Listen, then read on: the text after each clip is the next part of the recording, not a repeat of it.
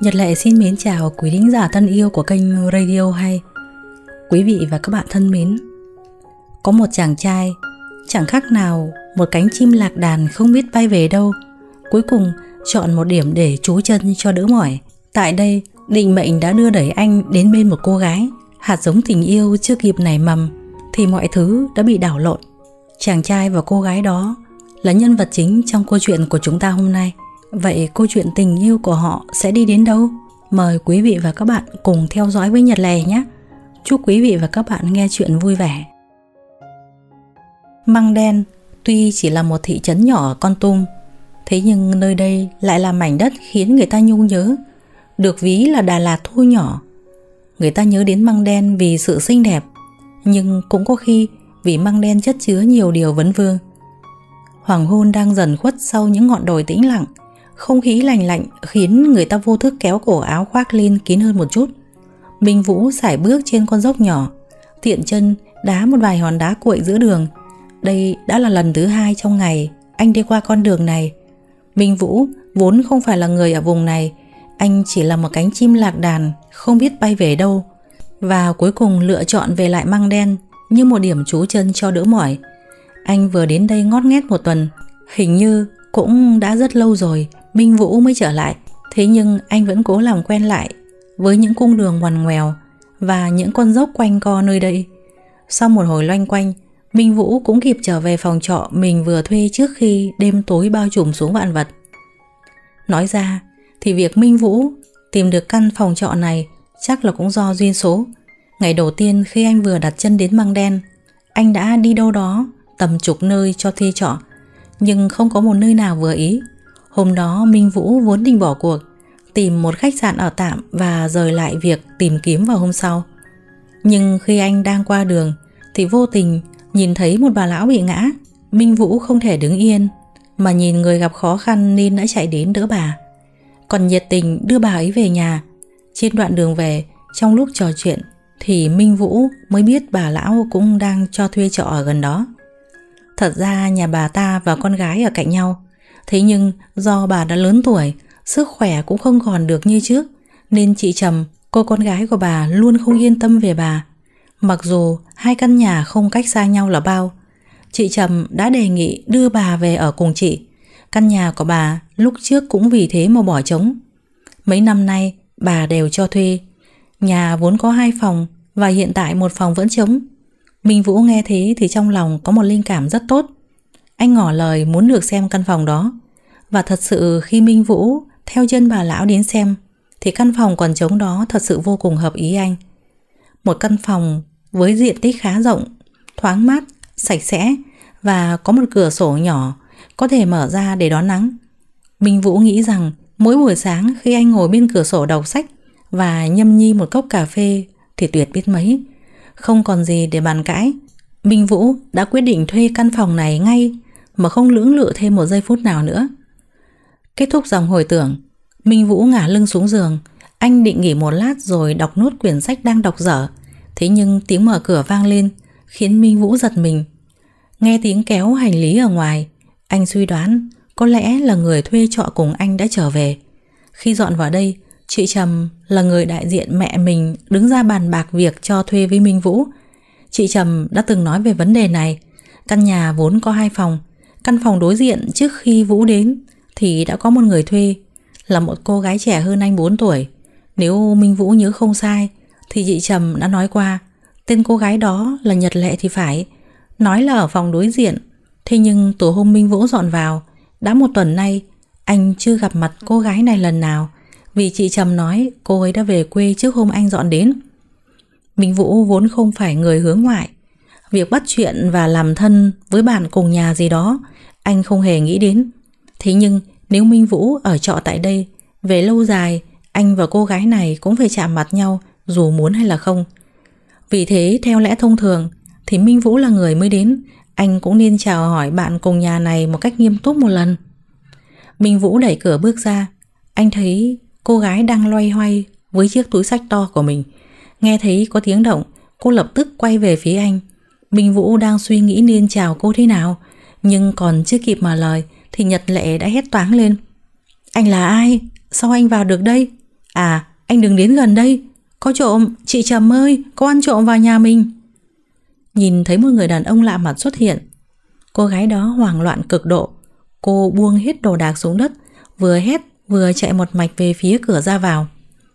Minh Vũ chưa kịp định thần nhưng nhìn cô gái kích động như thế, Anh biết là cô gái này đang hiểu lầm gì đó.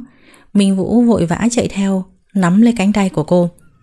Không phải như cô nghĩ đâu, Chỉ là hiểu lầm thôi. Cô nghe tôi giải thích đã. Minh Vũ còn chưa dứt câu, Thì cô gái đã đá vào chân anh một cái rõ mạnh. Cô rằng tay mình khỏi tay anh rồi chạy ra ngoài. Minh Vũ không nói thêm được gì. Anh còn đang bận ôm lấy cẳng chân đau điếng của mình. Thế nhưng Nhật Lệ chưa kịp chạy đi đâu, Thì chị Trầm đã vội vàng chạy sang từ nhà bên cạnh, Vì nghe tiếng động ở bên này. Nhìn thấy chị Trầm, Nhật Lệ như bắt được vàng. Cô nép sang một bên hùng hổ kéo tay chị Trầm đến trước mặt Minh Vũ. Chị nhìn xem, Anh ta chính là tên trộm vừa đột nhập vào nhà mình. Chính mắt em đã thấy anh ta đi từ phòng đối diện. Chắc chắn là anh ta vào để trộm đồ rồi. Nếu hôm nay em không từ quê lên sớm, Thì làm sao phát hiện được sự việc này? Lúc nãy em đã đá anh ta một cái. Anh ta không chạy được đâu. Chị ơi, Chúng ta mau gọi công an đến đi. Chị Trầm nhìn Minh Vũ đang nhăn nhó vì đau, Lại nhìn sang Nhật Lệ, Ôm lấy cánh tay mình. Chị khẽ lắc đầu cười khổ. Tất cả chỉ là hiểu lầm thôi. Mau vào trong ngồi để chị giải thích, Để tôi đỡ cậu. Chị Trầm toan bước lên đỡ Minh Vũ, Thì anh vội xua tay. Tự mình lắc nhắc đi về phía sofa rồi ngồi xuống. Nhật Lệ còn chưa hiểu gì Cô ngơ ngác đi theo chị Trầm về phía sofa. Không phải như là em nghĩ đâu Nhật Lệ à. Đây là Minh Vũ, Người mới đến thuê trọ. Từ nay cậu ấy sẽ ở phòng đối diện với em. Vốn dĩ định nói trước với em, Nhưng mấy hôm nay chị bận đưa mẹ đi tái khám Nên là quên mất. Nhưng vì em cũng nói với chị Hai ngày nữa sẽ lên lại, Nên là chị định hôm đó mới trực tiếp nói với em một thể. Không ngờ là em lại lên sớm thế này. Xin lỗi em nhé, Làm em hoảng sợ rồi. Chị Trầm nhìn Nhật Lệ Nói xong, chị quay sang Minh Vũ. Tôi cũng phải xin lỗi cả cậu nữa. Cũng do sơ suất của tôi nên mới có cơ sự này. Minh Vũ lắc đầu tỏ ý không sao. Thật lòng, anh không trách chị Trầm gì cả, Mà còn bận hướng mắt về phía hung thủ gây ra toàn bộ sự việc. Nhật Lệ từ khi ngồi xuống Thì chưa kịp hiểu gì. Sau khi nghe chị Trầm nói, Thì mất một lúc, Cô mới hiểu ra là mình đã phạm sai lầm. Cô ôm lấy chán. Len lén liếc sang Thì bắt gặp ánh mắt không hài lòng của Minh Vũ. Nhật Lệ thầm kêu cứu trong lòng. Thôi xong rồi, Cô chưa rõ tình hình đã vô an cho người ta. Đã thế còn đá người ta một cú rõ đau. Phen này xem như là toang rồi. Thật ra tôi không cố ý đâu.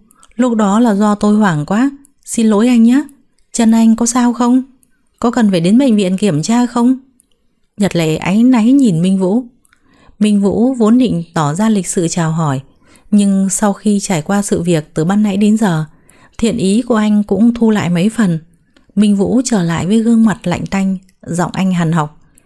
Lần sau cô nên học cách kiềm chế cảm xúc đi, Còn chưa biết đầu đuôi mà cô đã đánh người. Nếu lỡ tôi bị thương nặng thì sao? Cũng may là tôi không có thói quen động tay động chân với phụ nữ đấy. Nếu lúc nãy cô chịu bình tĩnh nghe tôi giải thích vài câu thì mọi chuyện đã được giải quyết ổn thỏa rồi. Đã vậy trời tới rồi, Mà còn làm phiền đến chị Trầm nữa chứ. Tôi cũng đã xin lỗi rồi mà. Tôi là con gái, Nên đề phòng một chút thì có làm sao? Nếu anh cảm thấy oan ức, thì ngày mai đến bệnh viện đi. Chi phí khám chữa, Tôi chịu cho anh. Mọi việc cũng là hiểu lầm thôi mà. Nhật lại biết sai nên đã xuống nước. Cô nghĩ rằng dù sao cũng là hiểu lầm.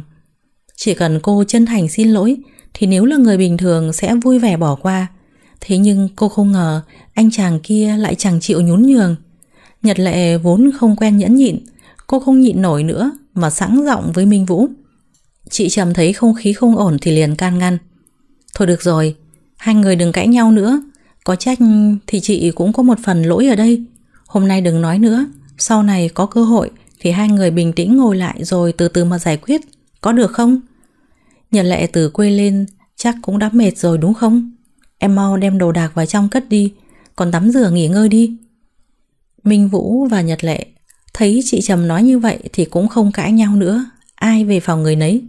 Chị Trầm cũng có ghé ngang hỏi thăm Minh Vũ thêm một lần Chắc chắn anh không sao mới trở về nhà Minh Vũ đã hết đau Nhưng anh vẫn đang không vui Làm gì có ai bị đá một cái oan ức Mà không khó chịu đâu chứ cái cô nhóc Nhật Lệ ấy, Trông người mảnh khảnh nhỏ bé là thế.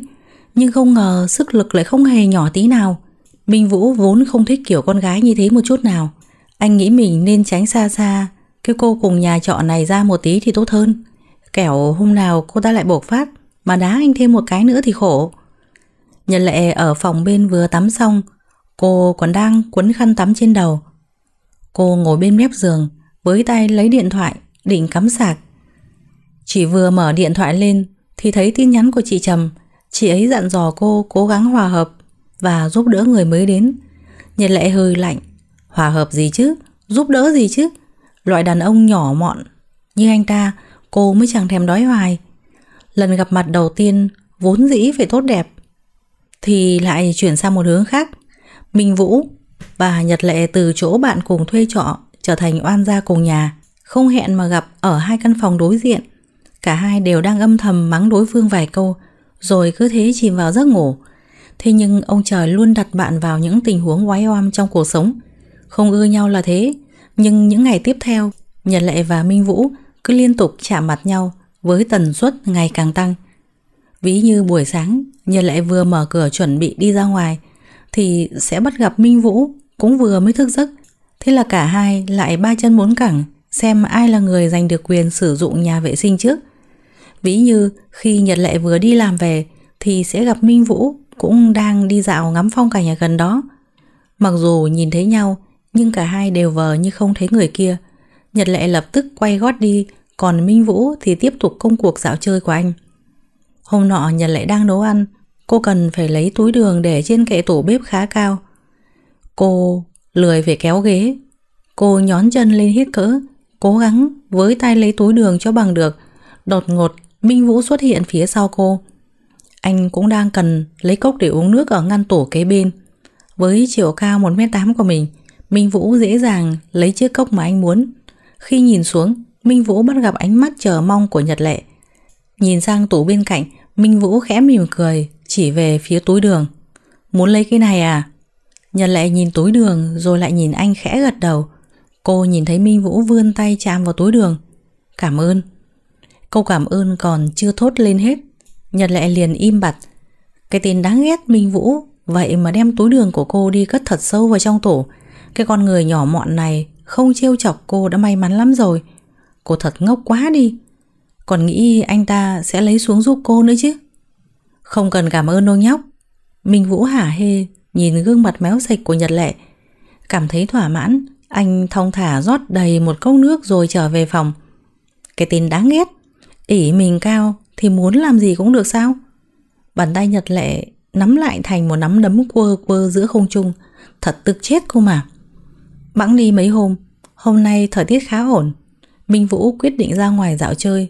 Anh đi qua mấy con đường quen thuộc, rồi dừng chân trước một quán cà phê được tô điểm với tông màu cổ điển. Phía trước có một khoảng sân với những khóm hoa cẩm tú cầu đủ màu sắc được trồng xen lẫn vào nhau. Vốn dĩ Minh Vũ không kỳ vọng gì, anh chỉ muốn nghỉ chân một lát, nhưng khi bước vào bên trong thì không khí nơi đây khiến cho Minh Vũ không thể không cảm thán lên một câu. Quán không quá đông khách, không quá ồn ào, nhưng cũng không vắng vẻ hưu hắt. Mùi cà phê thoảng trong không khí, dưới ánh đèn vàng ấm áp, hai kệ sách lớn được bày trí trong quán đập vào mắt Minh Vũ và bên tai anh là những bài nhạc cổ điển du dương được phát lên. Minh Vũ phải thừa nhận rằng nơi đây quả thật trùng khớp hoàn toàn với sở thích của anh. Dường như đây chính là thiên đường anh luôn tìm kiếm. Minh Vũ cố kìm nén sự hứng thú, anh tiến đến quầy để gọi nước, nhưng lại bắt gặp Nhật Lệ đang đứng ở đó. Bốn mắt nhìn nhau, cả hai đều bất ngờ. Tại sao anh lại ở đây? Tại sao cô lại ở đây? Minh Vũ và Nhật Lệ đồng thanh cất tiếng. Sự trùng hợp khiến cả hai bất ngờ, bật cười nhưng lập tức nhớ ra, mỗi người ngượng ngùng lại quay đi một hướng khác. Cô Lâm ở đây sao? Minh Vũ hắng giọng, anh nhìn thấy đồng phục nhân viên trên người Nhật Lệ. Anh đã thấy rồi mà còn hỏi à? Thật là đã đi đến tận chỗ làm mà vẫn không thoát được anh ta. Nhật Lệ thở ra một hơi. Này này, cô đối xử với khách hàng thế à? Tôi phản ánh với quản lý đi nhá. Minh Vũ nhớn mày thách thức. Vâng, anh là khách hàng. Khách hàng là thượng đế. Vậy giờ cho hỏi, Quý khách muốn uống gì à? Quý khách có muốn dùng thử món nước nổi tiếng nhất của quán tôi không? Nhật lệ cố nén cơn giận, Tỏ ra thái độ chuyên nghiệp của một nhân viên thực thụ. Quý hóa quá, Nhưng nếu là loại nước cô gợi ý Thì tôi không dám uống đâu. Cho tôi một cà phê là được rồi, Cảm ơn. Minh Vũ thanh toán rồi chọn một chiếc bàn gần cửa sổ. Nhật lệ mím môi Cô tự nhủ phải nhịn lại vì đang làm việc. Không thể đánh khách hàng được. Minh Vũ ngồi ở quán cả buổi sáng rồi mới về nhà. Anh cảm thấy quán cà phê này quá thích hợp với mình. Minh Vũ nghĩ ngày mai Anh sẽ mang vài quyển sách theo để đọc. Một địa điểm du lịch nổi tiếng như Măng Đen Sẽ không thiếu những quán cà phê mọc lên như nấm. Nhưng để tìm được một quán ưng ý thật sự Rất không dễ dàng. Minh Vũ đã quyết định từ nay quán cà phê này sẽ là quán quen của anh. Mấy tuần tiếp theo, mỗi ngày Nhật Lệ đi làm đều bắt gặp Minh Vũ đều đặn đến quán. Mỗi lần đến sẽ gọi cà phê nóng như thói quen, rồi có thể ngồi ở đó đọc liên tục mấy cuốn sách. Đọc hết sách mang theo thì đến hai kệ sách lớn trong quán mà tìm thêm vài cuốn. Có khi anh lại ngồi thẫn thờ bên cửa sổ ngắm phong cảnh bên ngoài, có khi lại trầm tư thưởng thức những bản nhạc cất lên từ radio. Nhắm hờ mắt mà ngâm nga theo giai điệu. Này, cậu nói xem, cái anh chàng ngồi bàn gần cửa sổ đấy có tâm tư gì thế? Hôm nay khi Nhật Lệ đang lau những chiếc cốc để xếp lên kệ, thì Thùy Dương, cô bạn thân thiết cũng làm cùng quán ở đây. Từ đâu chạy đến khoác lên vai cô. Nhật Lệ nghiêng đầu nhìn cô nàng đang hí hửng dán mắt về phía cửa sổ. Nương theo ánh mắt Thùy Dương Cô xác định nàng ta đang nhìn về phía Minh Vũ. Cậu nhàn rỗi nhỉ? Trong giờ làm việc còn có thời gian chú ý đến tâm tư của khách đến quán à? Chê quán mình ít việc quá đúng không? Nhật lệ huých huých vai cô nàng. Gì cơ? Cậu thử nghĩ xem. Có một anh chàng đẹp trai như thế, xuất hiện liên tục trước mắt suốt mấy tuần liền. Không chú ý đến mới là chuyện lạ đấy. Mấy cô bé trong quán mình, ai cũng mê mẩn anh chàng này đấy. Thậm chí, giờ mấy cô bạn của tớ ở chỗ nơi khác cũng hỏi về anh ta rồi đấy Thủy Dương bĩu môi. Nhật lệ giờ mới để ý đến lời của Thủy Dương nói. Nếu công bằng mà nói, Minh Vũ quả thật là một chàng trai, Có vẻ ngoài khá thu hút.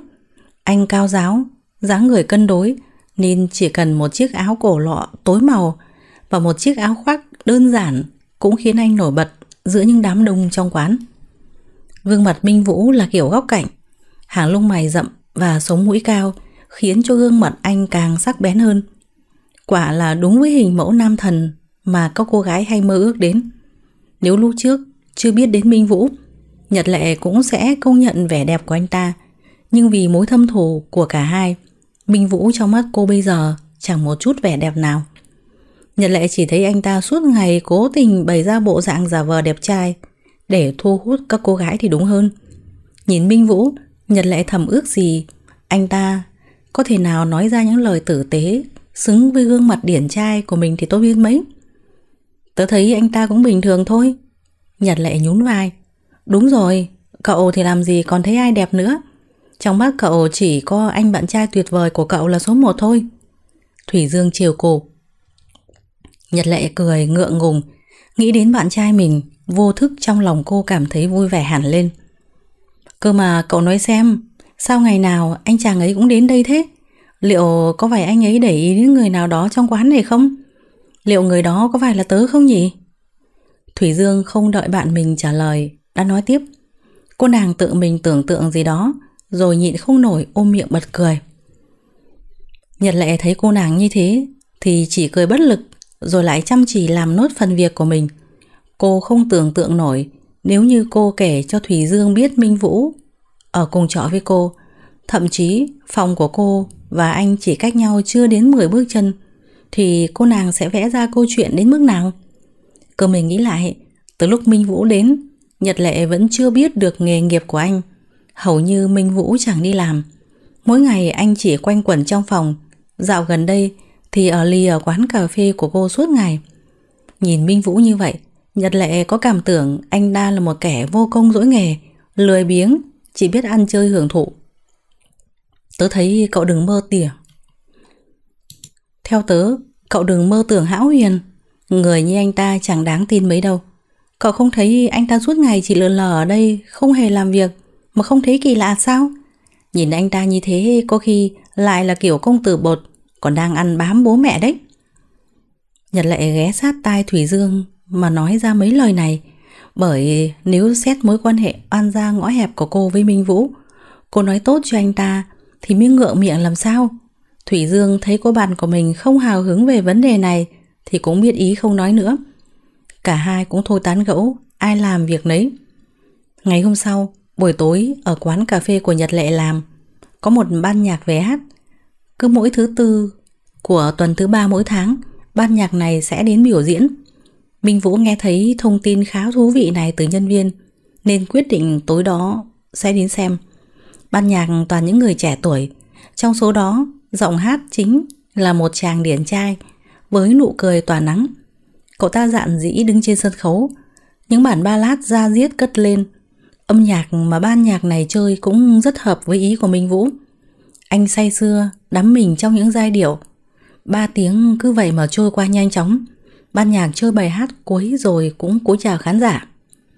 Có lẽ đây sẽ là lần cuối cùng ban nhạc của chúng tôi đứng trên sân khấu này. Sau hôm nay chúng tôi sẽ giải tán.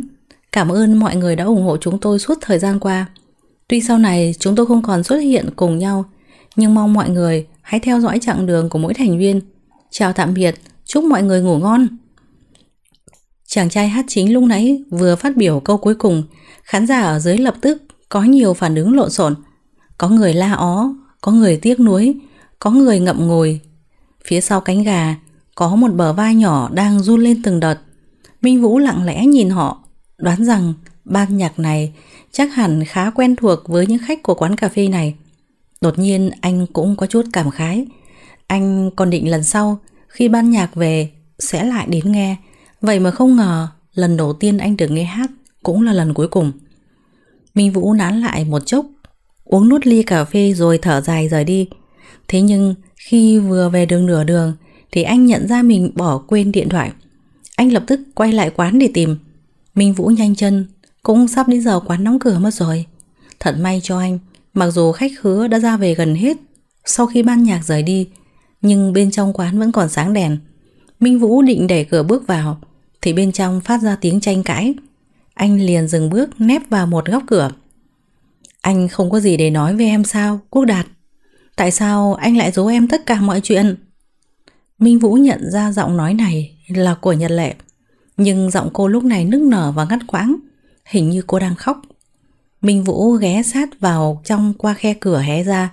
Anh nhìn thấy Nhật Lệ và Quốc Đạt, Chàng trai hát chính trong ban nhạc lúc nãy, Đang đứng đối diện với nhau. Anh xin lỗi Nhật Lệ à? Quốc Đạt không dám nhìn thẳng vào mắt Nhật Lệ. Nhật Lệ lau đi hai hàng nước mắt lăn dài trên gương mặt mình. Cô ngước mắt nhìn Quốc Đạt. Việc ban nhạc giải tán Và cả việc anh sẽ ra nước ngoài tuần tới, Tất cả mọi việc diễn ra ngày hôm nay, Em đều chẳng hay biết gì hết. Tại sao anh không nói gì với em hết vậy?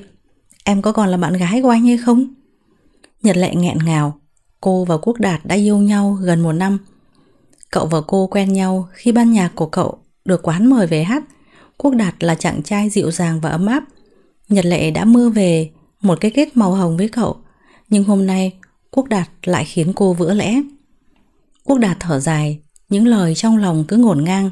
Nhưng rồi, như gom hết can đảm, Cậu hít một hơi, Ép mình đối diện với Nhật Lệ. Cơ hội ra nước ngoài tham gia cuộc thi hát lần này Không phải lúc nào cũng có. Anh không thể bỏ lỡ được.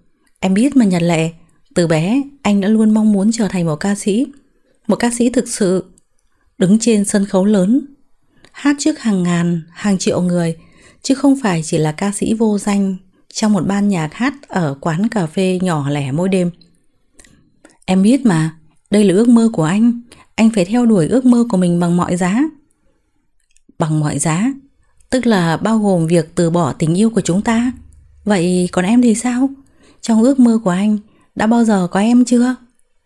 Đôi mắt Nhật Lệ ngấn nước Cô đã nhận ra So với ước mơ của Quốc Đạt Cô còn chẳng bằng một góc Quốc đản không nói được lời nào nữa Khi cậu vừa nhận được lời đề nghị có lợi này Cậu đã không một giây chần chừ mà liền lập tức đồng ý, còn hân hoan chuẩn bị hành lý và hộ chiếu đi sang nước ngoài. Quốc Đạt đã tính toán chu toàn cho tương lai của bản thân, nhưng hoàn toàn quên đi mất việc đặt Nhật Lệ vào một chỗ trong tương lai của cậu. Quốc Đạt thừa biết khi cậu đã chọn con đường này, tức là chấp nhận đánh đổi đi những người anh em trong ban nhạc, cũng đánh đổi tình yêu bấy lâu nay cùng với Nhật Lệ. Nhưng Quốc Đạt đã quyết định sẽ không ai lay chuyển được cậu. Anh biết giờ có nói gì cũng không thể biện minh cho quyết định ích kỷ của mình. Cảm ơn và xin lỗi em vì tất cả mọi thứ. Chúng ta chia tay đi. Chúc em sau này sẽ tìm được một người yêu thương em thật lòng, hoặc chỉ ít là không tệ hại như anh. Quốc Đạt cười khổ, cậu vươn tay định lau đi vệt nước trên gương mặt Nhật Lệ, nhưng rồi thấy mình chẳng đủ tư cách làm điều đó. Cậu lặng lẽ rút lại bàn tay, sau đó xách túi đàn rời đi khỏi quán cà phê. Nhật Lệ nhìn theo bóng lưng của Quốc Đạt, trái tim cô như bị bóp nghẹt chẳng thể thở nổi. Nhật Lệ ngồi bệt xuống sàn nhà, cô ôm lấy hai gối, mà vùi mặt vào khóc nức nở. Nhật Lệ không khóc vì Quốc Đạt, nếu cậu ta đã quyết định rời bỏ cô thì xem như không xứng đáng, cô sẽ chẳng quan tâm. Nhưng Nhật Lệ vẫn khóc vì cô vừa đau vừa tức cho thời gian và kỷ niệm của mối tình đầu của mình. Minh Vũ chứng kiến một màn như thế liền nép người sát hơn vào góc cửa. Thật may Quốc Đạt rời đi nhanh chóng nên cậu ta chẳng cảm nhận được sự hiện diện của anh. Minh Vũ đắn đo, giờ đến anh rơi vào tình thế tiến thoái lưỡng nan. Ở bên trong quán cà phê, Nhật Lệ vẫn đang khóc rất to. Bây giờ nếu Minh Vũ đột ngột bước vào thì sẽ khiến Nhật Lệ kia khó xử lắm. Minh Vũ thở dài, nhưng giờ đã biết chuyện rồi thì anh cũng không thể cứ như vậy mà nhắm mắt cho qua. Đắn đo một lúc, cuối cùng thì Minh Vũ cũng quyết định đẩy cửa vào. Cửa quán cà phê có treo một chiếc chuông, mỗi khi đẩy vào hay đẩy ra đều sẽ phát ra âm thanh len keng rất vui tai. Nghe tiếng chuông quen thuộc, Nhật Lệ lập tức nhìn lên. Có lẽ trong một giây nào đó, cô đã hy vọng sẽ nhìn thấy Quốc Đạt trở lại. Nhưng khi nhìn thấy người vừa bước vào là Minh Vũ, trong mắt Nhật Lệ vừa là nỗi thất vọng, vừa là sự bẽ bàng bất ngờ. Cô không nghĩ Minh Vũ sẽ quay lại nơi đây. Nhật Lệ vội vã đứng lên, cô vụng về lau đi mấy giọt nước mắt còn vương trên gò má. Tôi quay lại tìm điện thoại bỏ quên lúc nãy. Minh Vũ cũng không đỡ khó xử hơn Nhật Lệ một chút nào. Hai tay anh cứ nắm, không biết để ở đâu. Khi chứng kiến Nhật Lệ như thế, trong lòng Minh Vũ có cảm giác khác hẳn mọi ngày. Minh Vũ thừa nhận mình rất thích trêu chọc Nhật Lệ. Khi cô tức giận lên, anh vừa vui cũng vừa thấy đáng yêu.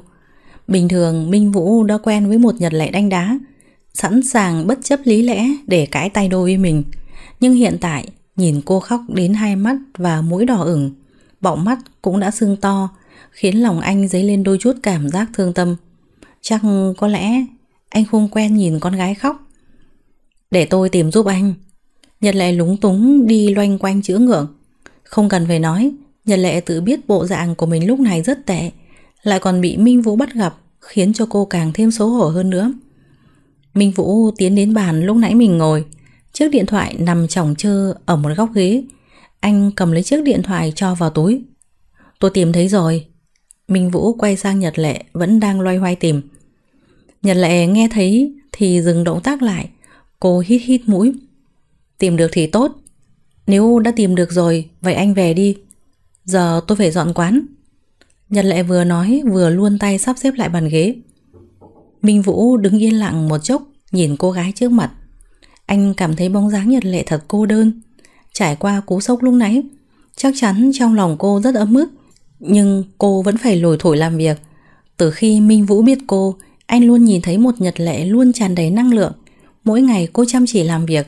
Mỗi khi gặp mọi người, từ những người thân thiết như chị Trầm hay cả những người lạ đến quán, cô đều sẽ tặng cho họ một nụ cười thật tươi để chào mừng. Mặc dù cho có đấu khẩu với nhau hàng ngày là thế, nhưng thật ra Minh Vũ chưa từng nhìn thấy những mặt u tối buồn bã của Nhật Lệ. Chỉ có hôm nay, khi Minh Vũ vô tình bắt gặp Nhật Lệ tại đây, trong tình huống khó xử như thế, anh mới nhận ra hóa ra cô nhóc cùng nhà lại là cô đơn và đáng thương như vậy. Nhật Lệ đang xếp ghế lên để chuẩn bị lau sàn, thì Minh Vũ tiến đến, giữ lấy chiếc ghế trong tay cô. Dù sao, tôi cũng đã quay lại đây rồi, để tôi giúp cô một tay xem như là trả ơn lúc nãy cô tìm điện thoại phụ tôi. Mấy việc tay chân này để tôi làm là được rồi. Cô đi làm việc khác đi, Tôi đợi cô dọn xong thì cùng về Minh Vũ nói xong thì thoăn thoát làm việc, Không cho Nhật Lệ có cơ hội phản bác Nhật Lệ vốn định từ chối, Nhưng nhìn thái độ của anh như vậy, Cô bỗng dưng cảm thấy trong lòng có chút cảm động. Cô biết Minh Vũ đang cố ăn ủi cô. Nhật Lệ nhún vai, Nếu anh đã muốn giúp thì cứ để anh giúp vậy. Cô còn tranh thủ đi làm việc khác cho xong. Quả nhiên hai người cùng làm Thì hiệu suất công việc vô cùng nhanh chóng. Thoáng cái đã dọn dẹp xong, Minh Vũ đứng ở ngoài chờ Nhật Lệ kiểm tra lần cuối rồi khóa cửa ra về. Măng đen về đêm Nhiệt độ xuống thấp hơn. Con đường về nhà thấp thoáng, Những ánh đèn đường chiếu xuống. Minh Vũ nhìn thấy bóng mình cao hơn Nhật Lệ cả một cái đầu. Anh và Nhật Lệ cứ thế đi song song bên cạnh nhau suốt một đoạn đường. Nhưng như ngầm hiểu ý, Cả hai đều yên lặng mà bước đi. Gió đêm khe khẽ luồn qua mái tóc Nhật Lệ, Thổi khô cả những vệt nước mắt trên hai gò má. Dường như cơn gió cũng muốn an ủi cô. Minh Vũ chỉ lặng lẽ quan sát người bên cạnh, Nhưng anh không nói điều gì, Cũng không hỏi bất cứ câu hỏi nào. Anh muốn để cho cô một khoảng lặng, Để tự ổn định cảm xúc của bản thân. Nhật Lệ rất biết ơn vì điều này. Lần đầu tiên, sau thời gian ở cùng với Minh Vũ, Nhật Lệ cảm thấy sự im lặng của người đàn ông bên cạnh thật tốt. Về đến nhà, Minh Vũ mở cửa rồi đợi Nhật Lệ vào. Sau đó bước thẳng về phòng. Nhật Lệ còn định nói vài câu với anh nhưng thấy vậy nên cũng thôi. Cô cũng bước về phía phòng đối diện của mình. Nhưng khi tay Nhật Lệ vừa đặt lên tay nắm cửa, Sau lưng truyền đến giọng nói của Minh Vũ. Tôi biết hơi bất lịch sự khi bình phẩm vào chuyện của người khác, Nhưng tôi chỉ muốn nói với cô, Mẹ tôi luôn dạy tôi, Nước mắt phụ nữ quý giá lắm. Thế nên đừng khóc mãi vì những người không đáng. Tôi nghĩ cô là cô gái thông minh, Chắc chắn cô sẽ hiểu. Chúc ngủ ngon. Giọng anh trầm ấm, Ngữ điệu nhẹ nhàng như có, như không. Minh Vũ nói xong thì vào trong phòng. Chỉ còn Nhật Lệ vẫn đứng ngẩn ngơ ra đó. Sau khi khóc một trận, Trong lòng Nhật Lệ đã thoải mái hơn rất nhiều. Ngẫm nghĩ lại toàn bộ quá trình, Nhật Lệ bất giác cười. Cô cũng không biết là mình cười điều gì, Nhưng ấn tượng về người bạn cùng nhà Cũng không còn tệ như ban đầu cô nghĩ. Nhật Lệ vào trong Cô định bụng ngày mai sẽ tìm cơ hội để nói lời cảm ơn hẳn hoi với Minh Vũ. Hôm sau, Nhật Lệ vẫn đi làm như thường lệ. Thế nhưng, cô ngóng chờ cả buổi cũng không thấy Minh Vũ đến quán cà phê. Lúc trước, dù cô không muốn, Nhưng mỗi ngày đều sẽ vô tình gặp Minh Vũ ở đó. Nhưng hôm nay thì không, Kể cả mấy ngày sau đó Cũng không gặp được anh một lần nào nữa. Thật ra, Nhật Lệ không gặp cũng đúng, Vì Minh Vũ đã quyết định mấy hôm sắp tới sẽ không giao quán Minh Vũ sợ sau chuyện đêm đó, Nếu để Nhật Lệ gặp mặt anh, cô sẽ khó xử, Nên anh cứ tạm thời lánh mặt thì tốt hơn Mấy hôm Minh Vũ chỉ ở nhà hoặc là đi loanh quanh gần đó Một buổi sáng, anh đang đi dạo thì bắt gặp chị Trầm vừa đi chợ về, Chị tươi cười nhìn Minh Vũ Cậu đang đi dạo sao? Thế nào rồi? Đã quen hẳn với đường xá ở đây chưa? Cũng ổn chị ạ Thật ra lúc trước tôi đã đến Măng Đen vài lần, Nhưng lần này ở lại đây lâu Mới nhận ra thị trấn này vẫn còn có nhiều điều thú vị mà tôi chưa biết Minh Vũ vui vẻ trò chuyện Măng Đen là vậy đấy Cũng vì thế mà từ mẹ tôi đến tôi đều muốn chọn mảnh đất này làm nơi định cư. Mừng là cậu cũng thích. Chị Trầm và Minh Vũ vui vẻ trò chuyện thêm vài câu. Đột nhiên như nhớ ra gì đó, chị Trầm quay sang Minh Vũ. À mà này, cậu và con bé Nhật Lệ không có vấn đề gì đúng không? Tôi biết lần đầu hai người gặp mặt không tốt lắm. Nhưng thật ra con bé Nhật Lệ không tệ như cậu nghĩ đâu. Con bé ngoan và chăm chỉ lắm. Bố mẹ nó đều đã mất khi con bé mới học cấp 2 Hai chị em phải ở với ông bà từ dạo đó Nếu tôi nhớ không nhầm Thì em trai nó hình như là đang học tiểu học thì phải Thật ra Nhật lệ học rất giỏi nhưng điều kiện gia đình không cho phép, Nên con bé chỉ học hết cấp 3 Thì ngừng học để đi làm kiếm tiền phụ giúp nuôi em và ông bà. Trông con bé vui vẻ vô tư như thế, Nên ít ai nghĩ con bé về gồng mình trưởng thành từ sớm cả. Chị Trầm nói vài câu, Thì lại hăng say nói mãi. Minh Vũ lặng lẽ nghe chị Trầm nói, Nhưng trong lòng anh tồn tại những suy nghĩ vẩn vơ. Ấn tượng ban đầu của anh về Nhật Lệ Thật sự là một cô gái đồng đảnh, thất thường. Nhưng anh không ngờ cô nhóc đó lại có hoàn cảnh đáng thương như vậy. Bỗng dưng Minh Vũ nghĩ đến hình ảnh bờ vai gầy của Nhật Lệ run lên từng đợt khi cô khóc. Trong lòng anh dâng lên cảm giác khó tả. Trong một giây phút nào đó, Minh Vũ cảm thấy Nhật Lệ cũng giống như anh, là một người cô đơn ở mảnh đất này. Cuối ngày hôm đó, Nhật Lệ trở về nhà sớm hơn thường lệ. Khi cô bước vào thì phòng khách tối om, nhưng cô lại thấy phòng Minh Vũ vẫn sáng đèn. Nhật Lệ lưỡng lự một hồi, cô quyết định sang nói chuyện với anh. Cô vẫn chưa cảm ơn anh cho đàng hoàng. Thế nhưng, đến lúc đứng trước cửa phòng của Minh Vũ, Nhật Lệ lại đột nhiên trần trừ một hồi mà không dám gọi. Còn chưa kịp gõ cửa, bỗng nhiên dưới chân có cảm giác ướt át. Có thứ chất lỏng gì đấy chạm tới ngón chân Nhật Lệ. Mấy hôm nay trời đâu có mưa, mà trong nhà cô ở từ trước đến giờ cũng chưa từng bị rột ở đâu. Nhật Lệ khó hiểu, nước ở đâu chảy ra vậy chứ? Cô mở đèn pin trên điện thoại lên, soi xuống chân xem thử nguồn nước chảy từ đâu. Ánh đèn vừa chiếu tới, Nhật Lệ gần như kinh động đến mức sắp hét lên. Chất lỏng mà cô tưởng là nước kia lại mang một màu đỏ thẫm. Mà tệ hơn, thứ đó lại chảy ra từ khe hở nhỏ dưới cánh cửa phòng của Minh Vũ. Nhật Lệ bị dọa đến sợ, cô chợt nghĩ lại. Mọi ngày, Minh Vũ ở nhà luôn mở đèn phòng khách, thế nhưng hôm nay thì không. Căn phòng sáng đèn, chứng tỏ anh ta ở trong. Nhưng tại sao lại có thứ chất lỏng giống như... giống như máu chảy từ phòng của anh ta? Nhật Lệ vặn thử tay nắm cửa, phòng lại bị khóa. Cô hoảng hốt, chẳng lẽ Minh Vũ đã xảy ra chuyện gì? Nhật Lệ không thể ngồi yên được nữa, cô đập cửa liên tục. Minh Vũ, Minh Vũ, anh có ở trong đó không? Mau trả lời tôi đi. Nhật Lệ gọi liên tục mấy tiếng, không có hồi âm. Cô sốt ruột, áp sát tai vào cánh cửa nghe ngóng. Tay bấm số định gọi chị Trầm đem chìa khóa sang mở cửa. Nhật Lệ còn đang chuẩn bị bấm gọi thì cửa đột ngột mở ra. Vì đang ghé sát vào cánh cửa nên Nhật Lệ mất đi điểm tựa, chới với ngã về phía trước. Minh Vũ vừa mở cửa, không biết chuyện gì, nhìn thấy Nhật Lệ ngã thì vội vàng vươn tay đỡ cô. Nhưng không may do sàn nhà đang trơn, anh cũng mất thăng bằng, vì vậy cả hai ngã xuống sàn nhà. Trải qua một cú ngã, Nhật Lệ từ từ ngẩng đầu lên, cô phát hiện đầu mình đang nằm gọn trên ngực Minh Vũ thì vội bật dậy. Minh Vũ cũng lồm cồm ngồi lên, xoa xoa cái lưng ê ẩm. Cô làm gì thế? Tự dưng đập cửa rồi còn rình mò trước cửa phòng tôi làm gì? Cái đó là tôi phải hỏi anh đấy. Sao tôi gọi anh không trả lời gì thế? Làm tôi cứ tưởng anh xảy ra chuyện gì. Nhật lệ đảo mắt một vòng từ trên xuống dưới. Sau khi xác định Minh Vũ không sao thì thở vào. Minh Vũ khó hiểu nhìn cô. Từ nãy giờ cô đang nói gì thế? Tôi thì xảy ra chuyện gì được chứ? Lúc nãy cô ngã đè lên người tôi mới làm tôi có gì đấy? Tôi không cố ý đâu, nhưng ý anh là đang chê tôi nặng ấy à? Nhật lệ lườm Minh Vũ một cái sắc lẹm. Tôi không nói gì, là tự cô nói đi nhé. Minh Vũ cười cười. Thôi bỏ đi, cũng đâu phải lần đầu anh nói mấy câu gợi đòn như vậy. Nhưng cái thứ chất lỏng màu đỏ chảy từ phòng anh là gì vậy? Dọa tôi sợ chết khiếp. Nhật lệ nhìn rồi chỉ tay xuống đất. Minh Vũ nhìn xuống chân mình. Sàn nhà quả thật đang vương vãi thứ chất lỏng màu đỏ. Thoạt nhìn trông cũng hơi giống máu thật. À, là màu vẽ thôi. Lúc nãy chắc là tôi sơ ý đá đổ lọ màu mà không biết.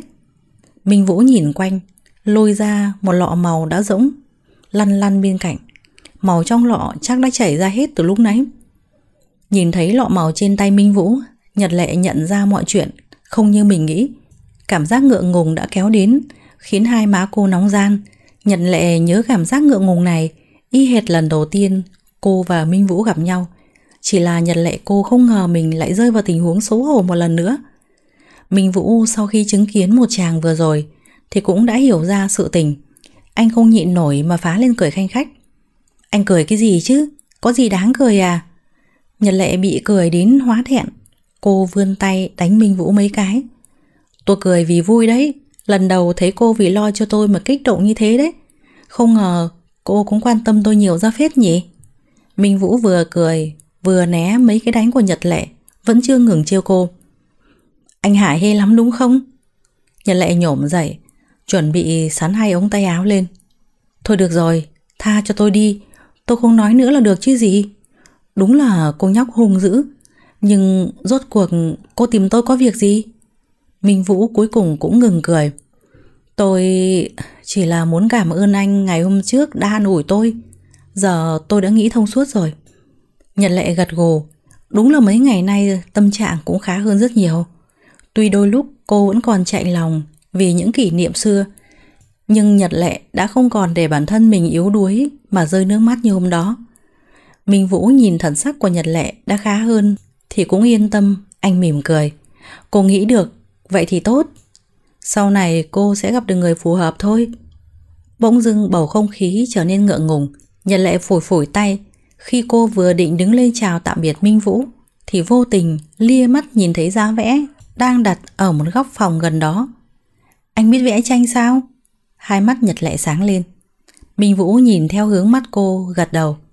Lúc trước, tôi muốn trở thành họa sĩ, nhưng sau này vì bố tôi không ủng hộ nên tôi mới theo học tài chính.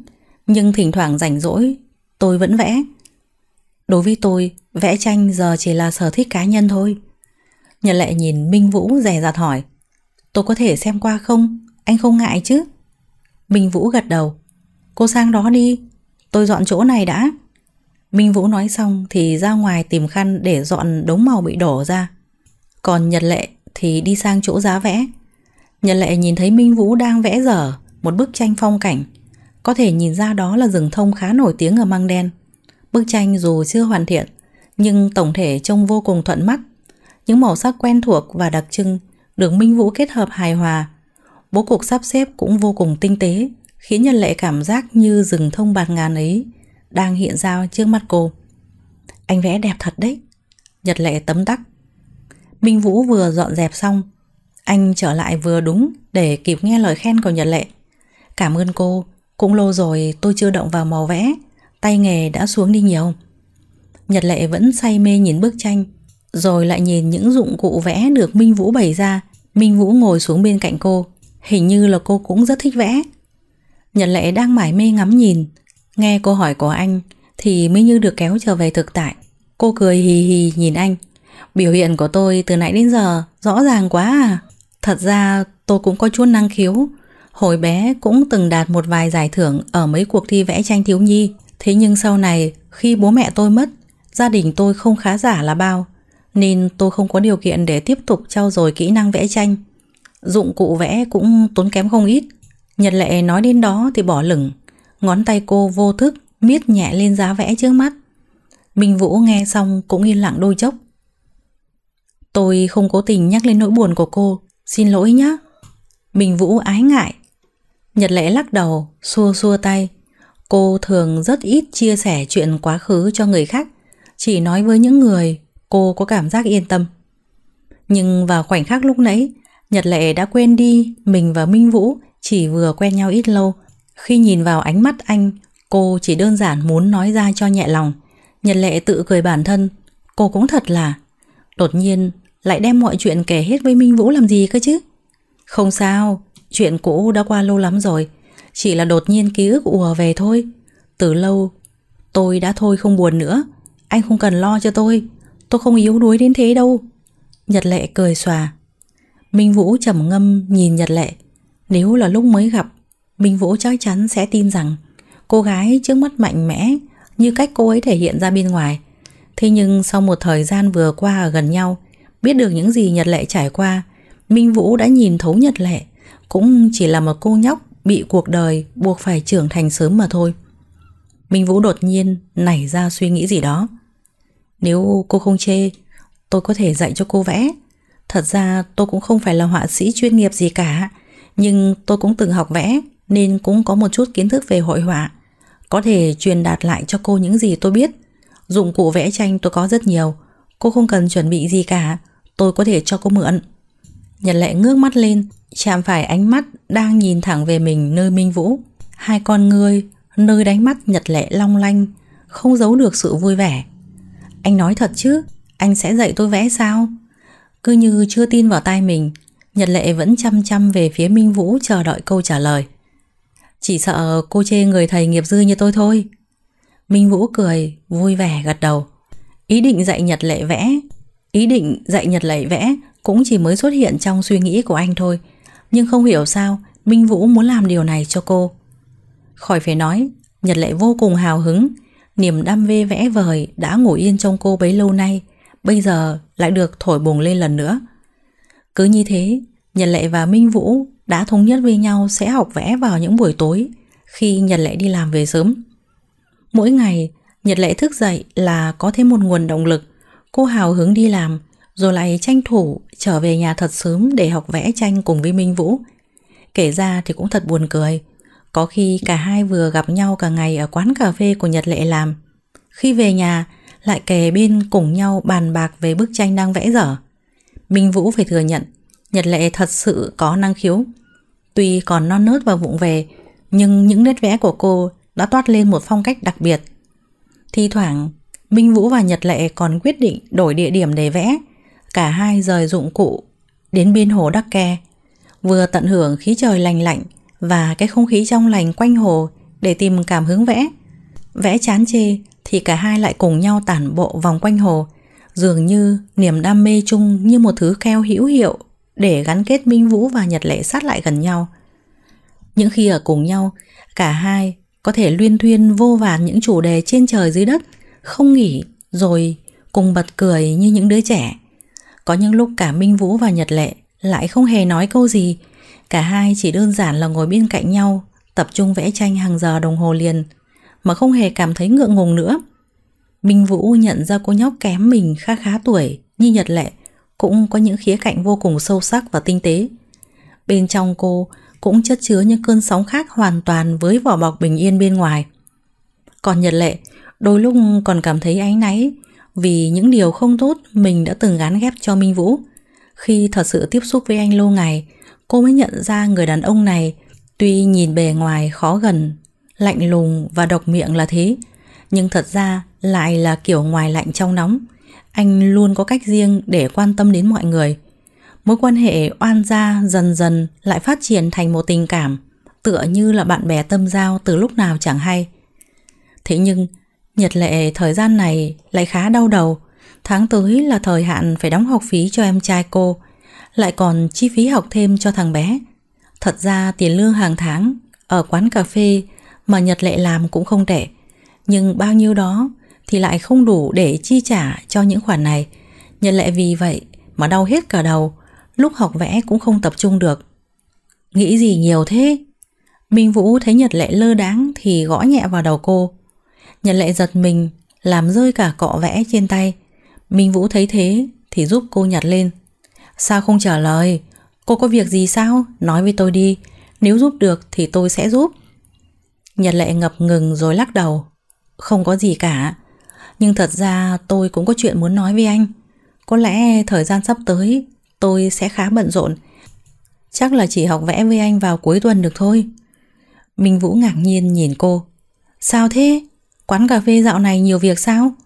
Không có, vì thấy vẫn còn nhiều thời gian rảnh nên tôi vừa nhận thêm một việc mới ở nơi khác thôi. Cũng không vất vả lắm đâu, chỉ là thời gian làm việc hơi muộn một chút. Thật ra công việc này cô vừa được một đồng nghiệp khác ở quán cà phê giới thiệu. Là công việc ở một quán bar. Nhật Lệ luôn cảm thấy những môi trường như vậy không lành mạnh. Giờ làm việc cũng rất khuya, thế nhưng so với những công việc khác thì mức lương lại khá cao. Nhật Lệ cắn răng, giờ cô không còn lựa chọn nào khác ngoài việc nhận để kịp lúc gom đủ số tiền cho em trai mình. Bình Vũ nghe cô nói về công việc mới thì không yên cho lắm. Nhưng Nhật Lệ đã quyết, anh cũng không thể ngăn cô được. Minh Vũ thở dài, anh đem số điện thoại của mình đưa cho Nhật Lệ, bảo cô lưu lại. Có việc gì phải gọi cho anh. Nhật Lệ vâng vâng giả giả. Mấy ngày đầu đi làm, Nhật Lệ thật sự hơi choáng ngợp với không khí nơi đây. Tuy quán bar này cũng không phải tụ điểm ăn chơi, nhưng không khí cũng vẫn khác hoàn toàn với quán cà phê mà cô đang làm việc từ trước đến nay. Thế nhưng năng lực của Nhật Lệ vốn rất tốt, cô nhanh chóng thích nghi với công việc mới. Giờ đây, cả ngày Nhật Lệ sẽ làm ở quán cà phê, đêm đến sang quán bar, cuối tuần dành vài buổi để học vẽ với Minh Vũ. Nhìn cô bận rộn như vậy, Minh Vũ cũng lo lắng Thật lòng anh không nỡ nhìn cô nhóc phải cật lực như thế Minh Vũ không nhận ra. Từ rất lâu, Nhật Lệ cũng đã trở thành Một trong những mối quan tâm đặc biệt của anh. Thấm thoăn mà Nhật Lệ Cũng đã đi làm ở chỗ mới được gần một tháng. Hôm nay vì đông hơn mọi ngày, Nên cô về khá muộn. Cũng đã hơn nửa đêm, Đoạn đường về nhà, Tuy Nhật Lệ đã quen thuộc trong lòng bàn tay, Nhưng nhìn màn đêm đen kịt trước mắt, Cô có chút lo sợ. Nhật Lệ hít một hơi thật sâu, Cô cố gắng nhanh chóng để về nhà. Bỗng nhiên, Nhật Lệ nghe thấy có tiếng bước chân tiến về phía mình. Cô còn tưởng mình nghe lầm.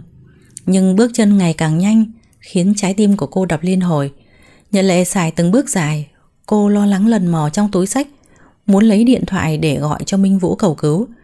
Nhưng khi bàn tay cô vừa chạm đến chiếc điện thoại ở bên trong, Cánh tay còn lại đã bị níu lại. Khoảnh khắc đó, Nhật Lệ đã sợ hãi đến thất kinh. Cô vừa định hét lên thì một bàn tay nữa giơ lên che lấy miệng cô Ngăn cho cô phát ra tiếng động. Giọng nói trầm ấm quen thuộc truyền đến bên tai Nhật Lệ. Đừng sợ, là tôi. Minh Vũ trấn an cô. Cả người Nhật Lệ từ từ xìu xuống. Cô đẩy tay Minh Vũ ra khỏi miệng mình Ôm lấy ngực mà thở. Sao anh lại ở đây giờ này? Tôi cứ tưởng là kẻ xấu nào đó đang theo dõi tôi ấy. Dọa chết tôi rồi. Minh Vũ thấy Nhật Lệ như thế Thì khẽ vỗ vỗ vào lưng cô. Thật ra, đã khuya mà không thấy Nhật Lệ trở về. Lòng Minh Vũ cứ không yên. Anh không thể cứ như vậy ngồi yên, Nên đã tức tốc đi tìm cô. Vì thế mới có một màn vừa rồi diễn ra. Tôi mới là khâm phục em sát đất đấy. Một cô nhóc như em, Hơn nửa đêm còn chưa về nhà. Lá gan của em không phải là rất to sao? Vậy mà giờ lại bị tôi dọa sợ à? Nhật lệ bĩu môi, Nhưng chợt nhận ra điều gì? Cô nhớn người nhìn về phía Minh Vũ. Vậy gần nửa đêm anh không ngủ Mà lặn lội đi tìm tôi à? Lo lắng cho tôi đến vậy sao? Minh Vũ không ngờ Cô nhóc lại chuyển đổi từ thế bị động sang chủ động nhanh như thế. Nhất thời anh luống cuống. Chỉ là trùng hợp vào lúc tôi muốn ra ngoài đi dạo thôi. Thật sao? Vậy thì phải khen anh Minh Vũ một câu. Anh thật chăm chỉ quá. Nhật lệ chớp chớp mắt nhìn anh. Minh Vũ bị bắt thóp Lập tức tìm cớ đánh bài chuồn. Được rồi, đừng quậy nữa. Cũng đã trễ rồi, mau về nhà thôi. Nói rồi Minh Vũ tiện tay cầm luôn chiếc túi Mà Nhật lệ đang mang nhanh chóng đi trước. Đợi tôi với. Nhật lệ bật cười trước thái độ của Minh Vũ. Cô cũng thôi không trêu anh nữa. Nhật lệ nhảy chân sáo Đi song song với Minh Vũ. Không ai nói thêm câu nào Nhưng nụ cười trên môi đều không giấu được. Đêm đó Nhật lệ gần như mất ngủ. Lúc nãy về đến nhà khi đưa lại túi cho cô, Minh Vũ đã ngỏ lời, Mỗi ngày sẽ đến đón cô đi làm về. Khỏi phải nói, Trái tim Nhật lệ như muốn nhảy tung ra khỏi lồng ngực. Cô phải thừa nhận mình đã rung động. Nhật lệ mỉm cười, Vùi mặt vào trong chăn. Minh Vũ đối xử tốt với cô như vậy, Chắc chắn anh cũng thích cô mà, Đúng không? Minh Vũ bên này cũng trằn chọc chưa ngủ được, Nghĩ lại cảm giác lo lắng Đến đứng ngồi không yên của mình khi Nhật Lệ chưa về. Dường như Minh Vũ nhận ra điều khác lạ. Anh đủ thông minh để nhận ra cảm giác đó là gì. Anh vô thức đặt tay lên trái tim. Minh Vũ nhận ra khi cái tên Nhật Lệ được nhắc đến, Anh sẽ không tự chủ mà cảm thấy vui vẻ. Trái tim cũng đập nhanh hơn mấy nhịp. Ban đầu, Minh Vũ chú ý đến Nhật Lệ Vì anh cảm thấy cô nhóc này khá khó ưa Và việc trêu chọc cô nhóc cũng khá là vui. Nhưng dần dà Minh Vũ lại cảm thấy thương cho những gì Nhật Lệ phải âm thầm gồng gánh. Hơn hết là cảm giác đồng cảm, Vì cô cũng như anh, Đều đã mất đi những người thân yêu nhất. Thậm chí, Minh Vũ thấy Nhật Lệ còn đáng thương hơn Khi cả bố mẹ cô đều không còn. Minh Vũ nghĩ anh đối với Nhật Lệ chỉ là thương cảm. Nhưng giờ đây, Trải qua bao nhiêu chuyện cùng nhau, Minh Vũ nhận ra anh thật sự bị ấn tượng bởi con người thật của Nhật Lệ. Và anh đã phải lòng cô nhóc oan gia cùng nhà này. Từ lúc nào không hay? Minh Vũ đặt tay lên chán Anh đã quyết định sẽ tìm cơ hội để thổ lộ với Nhật Lệ. Minh Vũ nhìn chiếc giá vẽ đang dựng bên góc phòng. Anh nảy ra một ý tưởng hay ho Rằng anh sẽ vẽ một bức tranh tặng Nhật Lệ vào hôm tỏ tình ấy. Minh Vũ cứ mãi thiết trí với sáng kiến của bản thân, rồi chìm vào giấc ngủ lúc nào không hay. Buổi sáng ngày hôm sau, khi Nhật Lệ chuẩn bị đi làm và hỏi Minh Vũ có muốn đến quán cà phê luôn hay không, thì Minh Vũ đã vội tìm một cái cớ hợp lý để từ chối. Vì hôm nay anh quyết định sẽ bắt tay vào việc vẽ tranh để tặng Nhật Lệ. Sau mấy lần phát họa thì cuối cùng Minh Vũ cũng hình dung được bố cục của bức tranh. Minh Vũ không vội. Anh muốn tác phẩm này phải thật hoàn hảo. Minh Vũ cứ thế dành nhiều ngày để tô vẽ những ý tưởng của mình. Vui vẻ nhìn bức tranh từng bước hoàn thiện. Ban ngày là thế, còn mỗi buổi tối, Minh Vũ đều căn chuẩn thời gian đến quán bar để đón Nhật Lệ về nhà. Nhật Lệ chỉ cần nhìn thấy Minh Vũ đến, trong lòng bỗng dưng dâng lên một nỗi ngọt ngào. Mệt mỏi suốt một ngày dài cũng tan biến. Trước giờ, Nhật Lệ luôn quen với việc đi đi về về một mình. Lần đầu có người vì cô mà không ngại đường xa, không ngại đêm tối, xuất hiện chỉ để đưa cô về thật an toàn. Nhật Lệ và Minh Vũ vừa đi bộ về nhà vừa tán dóc. Nhưng nói đúng hơn là đa phần là Nhật Lệ cứ liến thoáng, còn Minh Vũ chỉ gật gù lắng nghe, thi thoảng đệm vào câu chuyện một vài câu bình luận. Minh Vũ tự thấy buồn cười, lúc trước anh còn chê Nhật Lệ ồn ào, vậy mà giờ mới nhận ra anh thích nghe giọng Nhật Lệ đến thế. Nhật Lệ hào hứng kể chuyện nên không chú ý nhìn đường. Cô bước hụt một bước, nhưng cũng may là Minh Vũ đã đỡ kịp. Nhật Lệ một phen giật mình, cô đứng lại ngay ngắn rồi mới thở phào. Minh Vũ tặc lưỡi, chê cô một câu hậu đậu. Nhật Lệ vừa định lên giọng cãi lại, thì bỗng im bặt. Minh Vũ đem bàn tay lớn hơn của mình nắm lấy bàn tay bé xinh của Nhật Lệ. Em lúc nào cũng bất cẩn như thế, đúng là không làm người khác yên tâm được. Em cứ tiếp tục nói đi, tôi dắt tay em, không sợ bị ngã nữa. Nhật Lệ hơi bất ngờ với sự thay đổi xưng hô đột ngột từ Minh Vũ, nhưng trong thâm cô cũng không hề phản đối. Trong giây phút Nhật Lệ vẫn còn đang ngẩn ngơ thì Minh Vũ đã mỉm cười. Anh cứ thế mà dắt cô tiến lên phía trước, nom điệu bộ cứ như là người lớn đang dắt trẻ con vậy. Nhìn bàn tay đang được nắm của mình, khóe môi Nhật Lệ không nhịn được mà nâng lên càng ngày càng cao. Không chỉ là tay thôi đâu, hình như trái tim của cô cũng thế, đều bị Minh Vũ nắm trọn rồi. Hai người đi bên cạnh nhau, một cao một thấp, thế nhưng lại tạo nên một khung cảnh hòa hợp không tưởng. Hơn hết chính là hai trái tim nóng bỏng, đang hòa chung một nhịp, càng khiến cho người ta cảm thấy cái lạnh về đêm cũng trở nên dễ chịu lạ kỳ. Dường như không nói ra, nhưng Minh Vũ và Nhật Lệ đều thầm ước ao, đoạn đường về nhà hôm nay cứ dài ra thêm một chút thì tốt biết mấy. Hôm nay, Nhật Lệ được về khá sớm, cô ghé ngang chợ, mua một ít nguyên liệu tươi mới. Vì Minh Vũ luôn khăng khăng không nhận thủ lao, nên Nhật Lệ quyết định sẽ nấu một bữa cơm thật ngon để chiêu đái anh. Cũng xem như cảm ơn thời gian qua, anh đã tận tình chỉ dạy cho cô, còn tận tình đưa đón cô mỗi ngày mà không hề than thở. Nhật Lệ về đến nhà thì lại chẳng có ai. Cô tự nhủ chắc vì mình về khá sớm. Có lẽ Minh Vũ ra ngoài vẫn chưa về. Cô vui vẻ bắt tay vào nấu nướng. Hôm nay cô sẽ nấu món canh gà hầm. Thật ra đây vốn là món sở trường của Nhật Lệ nên cô vô cùng tự tin. Nhật Lệ đã nấu xong món chính và thêm vài món phụ ăn kèm. Cô háo hức bày nó lên bàn và chờ đợi Minh Vũ trở về. Thế nhưng đồng hồ cứ thế điểm từng giờ trôi qua, Minh Vũ vẫn chưa về nhà. Nhật Lệ nhìn đồng hồ, cũng đã trễ, ở ngoài đã tối rồi. Măng đen hôm nay lại lất phất một cơn mưa phùn trái mùa. Nhật Lệ lo lắng, Minh Vũ không về nhà thì đi đâu nhỉ? Cô muốn lấy điện thoại để gọi điện.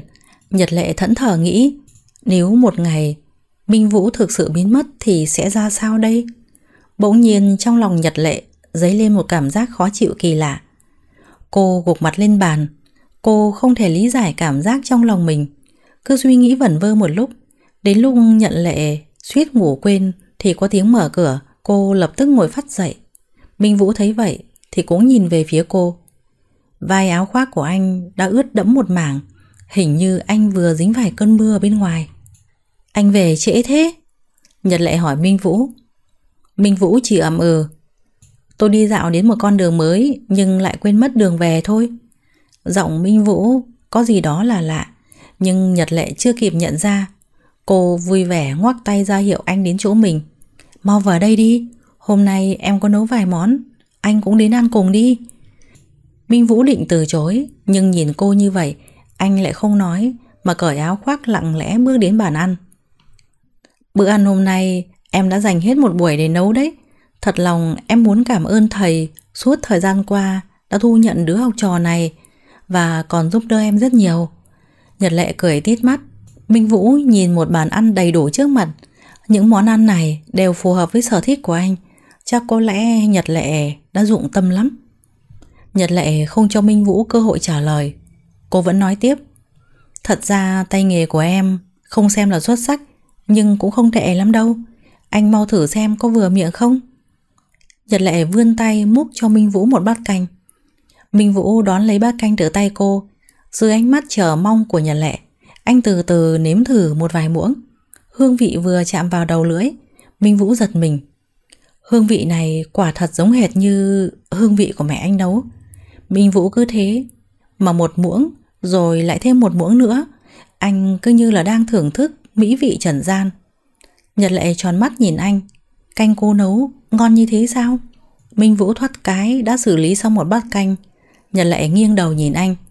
Anh có muốn thêm bát nữa không Nhật lệ vừa dứt câu Thì thấy Minh Vũ gật đầu Cô định lấy bát múc thêm cho anh Nhưng cô nhìn thấy đôi mắt anh đang dâng lên một tầng nước mỏng Anh sao thế Đừng nói canh em nấu ngon đến mức anh bật khóc đi nhá. Nhật lệ dừng động tác lại. Cô đi sang ngồi cạnh Minh Vũ. Minh Vũ dường như đã không ghim lòng được, chống tay lên bàn. Anh chôn gương mặt vào hai lòng bàn tay. Nhật lệ không hiểu gì cả. Nhưng cô biết anh chắc chắn là có chuyện gì nghiêm trọng lắm mới khiến suy sụp như vậy. Nhật lệ chỉ lặng lẽ ngồi bên cạnh.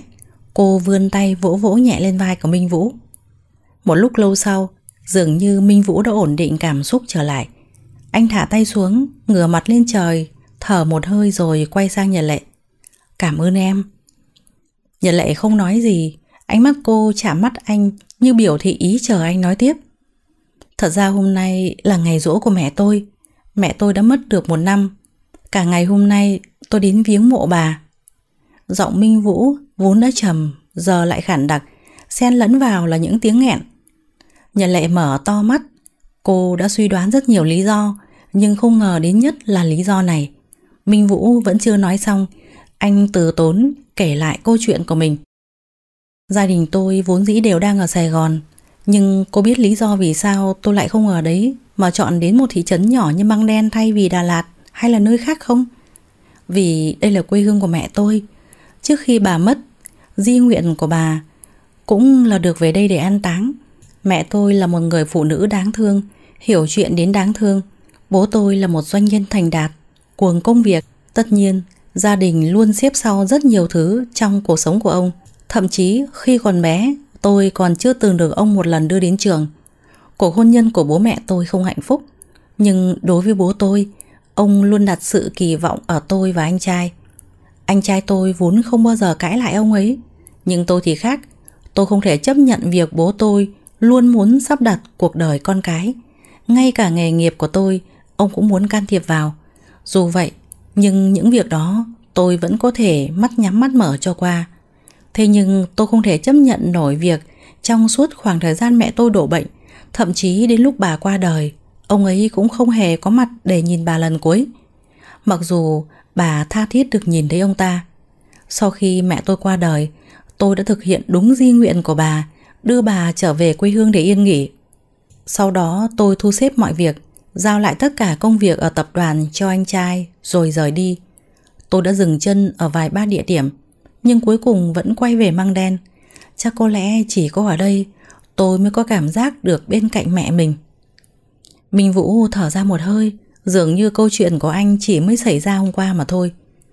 Nhật lệ từ đầu đến cuối dường như hòa nhập vào câu chuyện của Minh Vũ, không biết từ lúc nào mà nước mắt vô thức rơi xuống Nhật lệ không ngờ Hóa ra vết thương lòng của anh lại sâu đến vậy Thật ra hôm nay cảm xúc của tôi vô cùng hỗn loạn Tôi vốn không định trưng ra dáng vẻ yếu đuối này đâu Nhưng thật ra khi thử muỗng canh đầu tiên em nấu. Hương vị quen thuộc khiến tôi không thể không nhớ đến người mẹ quá cố của mình. Khi còn sống, Bà rất thường nấu món canh này, Bởi vì bố và tôi đều yêu thích nó. Minh Vũ cười buồn.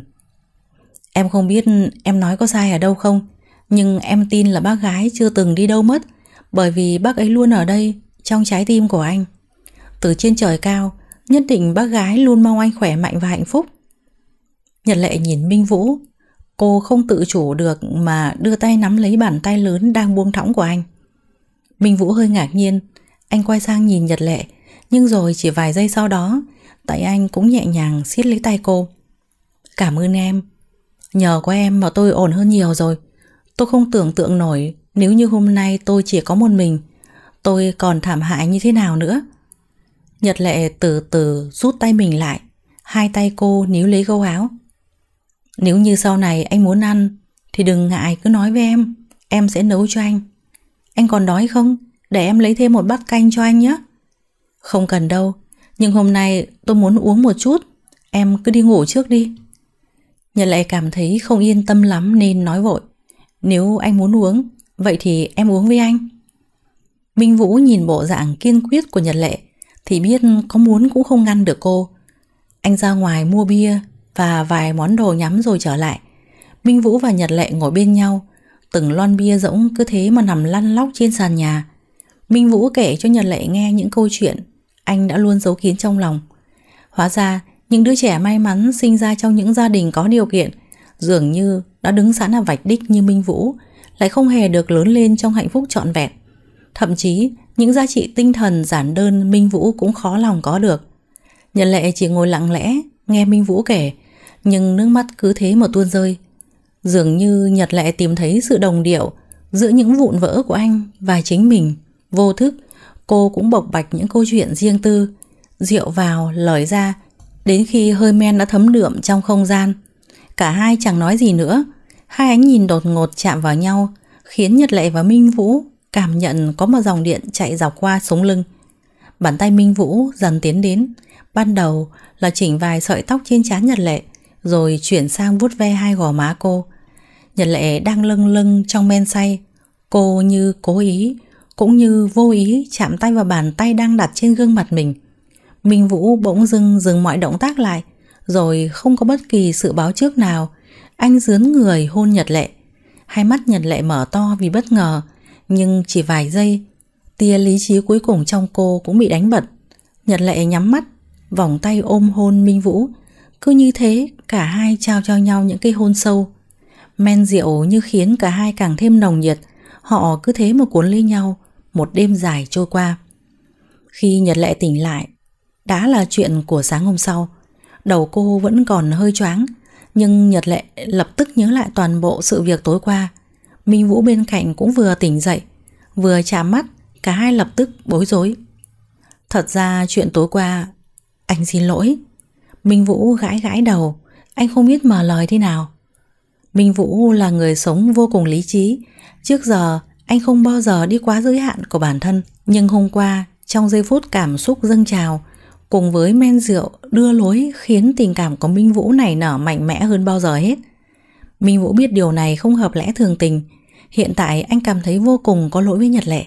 Dù sao cô cũng là con gái. Dù xét theo lẽ nào, cô cũng là người chịu thiệt thòi nhiều hơn. Nhật Lệ đưa hai tay lên ôm lấy gò má nóng gian. Cô cũng không hiểu vì sao đêm qua mình có thể hành động như vậy. Nhưng lúc đó trong đầu cô, quả thật chẳng nghĩ được gì. Cứ thế mà nương theo cảm xúc của bản thân Nhật Lệ cắn chặt môi, Không biết nên làm gì Hay là nói gì với Minh Vũ cho phải Thấy Nhật Lệ chưa trả lời mình, Minh Vũ càng thêm phần bối rối Anh không nhịn nổi nữa Mà nắm lấy tay Nhật Lệ Anh sẽ chịu trách nhiệm với em Tuy hơi đường đột nhưng giờ anh muốn nói rằng Anh muốn chúng ta có cơ hội bên cạnh nhau. Nhật Lệ có đồng ý ở bên anh không? Nhật Lệ im lặng một lúc, Cô hít một hơi. Chúng ta đều là người lớn cả rồi, Và lại đêm hôm qua Chúng ta đều say hết. Cũng khó lòng trách anh tất cả được. Anh không cần phải vì hối lỗi Mà ép buộc bản thân yêu đương cùng em. Nhật lệ nói ra những điều trong lòng cô. Quả thật cô không muốn Minh Vũ Vì khó xử mà nhắm mắt làm liều. Cô không cần anh chịu trách nhiệm, Cũng không muốn anh vì thương hại mình mà làm như thế. Nhưng Minh Vũ thì không nghĩ vậy. Thật ra, nếu không có sự cố này, anh cũng thật lòng muốn cùng Nhật Lệ ở bên nhau. Nhưng hiện tại, Nghe Nhật Lệ nói thế, Anh mới nhận ra anh hơi vội vàng. Nhật Lệ xứng đáng với một lời tỏ tình chính thức, Còn cả bức tranh anh đang chuẩn bị cho cô nữa. Thôi thì Minh Vũ quyết định hôm nay sẽ không buộc Nhật Lệ phải trả lời ngay. Dù sao anh cũng cần chuẩn bị. Minh Vũ nhìn cô dịu dàng vỗ về. Những lời anh nói đều là thật. Anh mong em không nghĩ tất cả lời nói và hành động xuất phát từ anh Là do anh có áp lực hay là gánh nặng gì cả. Nếu hiện tại em vẫn chưa sẵn sàng, Vậy thì không nhất thiết phải trả lời anh. Lần sau, Khi em sẵn sàng, Chúng ta sẽ quay lại nói chuyện này Nhé Nhật lệ ngượng ngùng gật đầu, Dường như sau sự kiện ngày hôm đó Mối quan hệ giữa Minh Vũ và Nhật lệ Lại xuất hiện gì đó thay đổi rõ rệt hơn cả. Những ngày kế tiếp, Minh Vũ đến quán cà phê của Nhật lệ đều đặn mỗi ngày Để chờ đợi cô làm việc. Buổi sáng, Minh Vũ đến quán. Trước khi đến, anh còn tranh thủ mua đồ ăn sáng nóng hổi đến cho cô. Vì Nhật Lệ rất hay quên ăn sáng. Việc này không lọt qua được đôi mắt tinh tường của Thủy Dương. Trước sức ép từ cô bạn, Nhật Lệ đã kể lại sự tình cho Thủy Dương nghe. Vậy mà lúc trước có người còn mắng người ta là loại đàn ông còn đang ăn bám theo bố mẹ cơ đấy. Thủy Dương lườm lườm Nhật Lệ Ai cũng có sai lầm mà. Lúc đấy khác, bây giờ khác.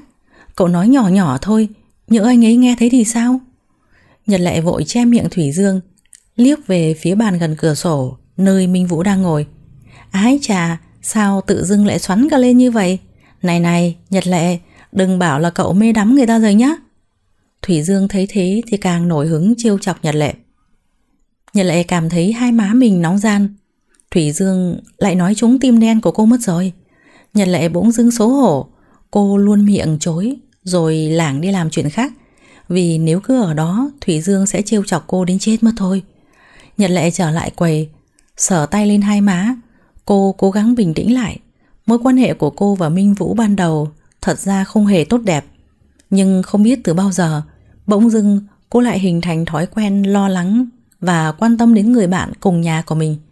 Có lẽ từ cái lần Minh Vũ an ủi cô khi thất tình, Hay từ những lần anh dạy cô vẽ tranh, Cả cảm xúc dâng trào đêm ấy nữa, Nhật lệ còn đang bối rối với chính mình. Bỗng dưng, cô bắt gặp ánh mắt của Minh Vũ đang nhìn về phía cô. Thấy Nhật lệ nhìn, Minh Vũ nở một nụ cười dịu dàng. Chết tiệt! Lúc trước Nhật lệ luôn cảm thấy nụ cười của anh thật đáng ghét. Nhưng sao bây giờ cô lại thấy có chút rung rinh trong lòng? Trái tim Nhật lệ sắp nổ tung. Cô cố gắng không nghĩ nữa, Tập trung vào làm việc. Những việc khác từ từ tính sau vậy. Cả hai người cứ tình trong như đã, mặt ngoài còn e như thế. Mãi cũng không nên. Minh Vũ ngày càng suốt ruột hơn. Anh không chờ được nữa. Anh rất muốn nhanh chóng hoàn thành bức tranh Để có thể chính thức tỏ tình Nhật Lệ. Nhưng người tính không bằng trời tính. Vài ngày trôi qua Buổi sáng Nhật Lệ vừa chào tạm biệt Minh Vũ đi làm Còn Minh Vũ tiếp tục công việc vẽ Đang giang dở của mình Nhật Lệ ở quán cà phê làm việc vô cùng vui vẻ Cô còn ngân nga trên môi vài giai điệu ưa thích dáng vẻ như đang chìm đắm trong tình yêu của Nhật Lệ, khiến cả quán đều nhận ra. Đến cả Thủy Dương cũng không nhịn nổi mà bật cười vì bộ dạng ngông nghếch này của cô. Thế nhưng, vào giờ nghỉ trưa hôm đó, bỗng dưng có một người đàn ông lạ tìm đến Nhật Lệ. Một người đàn ông ở độ tuổi trung niên, ăn mặc lịch lãm, gương mặt nghiêm nghị không biểu lộ nhiều cảm xúc. Nhật Lệ ngẫm nghĩ, dường như cảm thấy gương mặt ông ấy rất quen mắt nhưng lại không nhớ mình đã gặp ở đâu. Chào cháu, nếu tôi không lầm thì cháu là Nhật Lệ đúng không? Người đàn ông vừa thấy Nhật Lệ bước ra đã mở lời. Chào bác, cháu là Nhật Lệ đây ạ. Nhưng bác là ai ạ? Nhật Lệ ngơ ngác khi người kia biết tên mình. Tôi là Minh Đức, bố của Minh Vũ. Ông Đức không nóng, không lạnh, mà nói ra danh tính. Nhật Lệ mới chợt vỡ lẽ, bảo sao cô nhìn bác trai này rất quen. Nhật Lệ mới nhận ra quả thật Minh Vũ có những đường nét giống hệt bác Đức. Thế nên lúc nãy cô mới ngờ ngợ. Nhưng bây giờ Nhật Lệ không có thời gian quan tâm chuyện bố con họ giống nhau làm gì. Cô đang vô cùng thắc mắc vì sao bố anh lại đến đây tìm mình. Vâng, cháu đã có nghe qua về bác, nhưng hôm nay mới có dịp gặp mặt. Hôm nay bác đích thân đến đây tìm cháu có việc gì không ạ? Nhật Lệ lễ phép. Ông Đức nhìn cô gái trước mặt từ trên xuống dưới một lượt. Theo tôi được biết, hình như cháu và con trai tôi đang qua lại với nhau. Nhật lệ tròn mắt trước câu hỏi bất ngờ và thẳng thắn từ ông Đức. Mất mấy giây cô mới định thần lại Chúng cháu chỉ là bạn thuê trọ cùng nhau Vẫn chưa có mối quan hệ gì Thật ra mối quan hệ của Nhật Lệ và Minh Vũ Có lẽ đã vượt xa mức độ bạn bè. Nhưng nếu nói cho rõ ràng Thì cũng chưa có lời khẳng định nào chính thức. Vì thế nên Nhật Lệ không bị xem là nói dối. Ông Đức cười lạnh. Tôi đã thuê thám tử đi theo Minh Vũ bấy lâu nay. Với những gì tôi nghe thuật lại, Tôi biết tình cảm Minh Vũ đối với cháu không hề bình thường. Nhật lệ mím môi. Cô không muốn trả lời thế nào. Ông Đức lại tiếp tục nói. Minh Vũ là đứa trẻ cứng đầu, Khác với anh trai Minh Phong của nó rất nhiều. Giữa Minh Vũ và tôi có nhiều khúc mắc. Tôi biết nó vẫn rất giận tôi về chuyện năm xưa. Minh Vũ đã bỏ đi được gần một năm Sau cái chết của mẹ nó. Bao nhiêu đó thời gian, Tôi cũng cho người âm thầm theo dõi nó. Vì thế, tôi mới biết Minh Vũ và cháu có tình cảm với nhau. Tuy sẽ rất khó nghe, Nhưng tôi không muốn vòng vo nữa, Nên sẽ nói thẳng vậy. Nhật lệ Mong cháu hãy chủ động tránh xa con trai tôi. Tôi không muốn nó cứ đắm chìm trong tình yêu ở nơi đây nữa. Minh Vũ dù thế nào cũng là con trai tôi. Suy cho cùng, Nó vẫn cần có trách nhiệm với gia đình của mình. Và nó phải trở lại để gánh vác tiếp tục sự nghiệp Mà tôi đã gây dựng cả cuộc đời. Thật ra, tôi làm thế cũng chỉ muốn tốt cho tương lai của thằng bé mà thôi. Nó không thể cứ lông bông mà bỏ bê công việc ở tập đoàn mãi được. Nhật lệ cảm thấy tai mình ong lên. Hai chân như mất hết sức lực. Cô không ngờ lại phải đối diện với những lời này từ bố của Minh Vũ. Nhật lệ im lặng Dường như cô đang ngẫm lại tất cả sự việc đã qua. Bác Đức nói đúng. Trước giờ Nhật lệ chỉ say đắm vào tình yêu Mà quên đi rằng Minh Vũ đâu thể sống cả đời ở nơi đây bằng tranh vẽ bằng những ngày lang thang khắp đây đó mãi được. Minh Vũ vốn thuộc về một cuộc sống khác, anh còn có gia đình, còn có sự nghiệp, khác với Minh Vũ ở Măng Đen mà Nhật lại biết. Minh Vũ ở Sài Gòn thuộc về một tầng lớp thượng lưu, còn Nhật Lệ lại là một cô gái bình thường mà thôi. Cô không nên ngáng chân Minh Vũ mới phải. Nhật Lệ trốn tránh ánh mắt của ông Đức đang chăm chăm về phía mình. Cô thở ra một hơi, lấy hết can đảm mà nói. Bác không cần nói nữa đâu ạ Cháu đã hiểu rồi Cháu đã biết mình nên làm gì tiếp theo Nhưng cháu mong sau này Bác đừng cứ mãi khiên cưỡng Minh Vũ làm những việc mà anh ấy không muốn nữa. Nếu bác cứ làm như thế, Sẽ ngày càng đẩy anh ấy xa cách hơn mà thôi. Minh Vũ, anh ấy có hoài bão riêng, Có cá tính riêng, Có niềm đam mê riêng. Cháu hy vọng bác có thể tin tưởng Để Minh Vũ chứng minh thực lực của anh ấy. Nhận lệ mặc dù trong lòng đau đớn, nhưng cô vẫn cố gượng một nụ cười với ông Đức. Những vẻ đau buồn trong đáy mắt không thể giấu đi đâu cho hết. Ông Đức nhìn Nhật Lệ, Trên mặt thoáng hiện một nét ngạc nhiên. Bởi lẽ, Ông không nghĩ sẽ lại dễ dàng đến thế.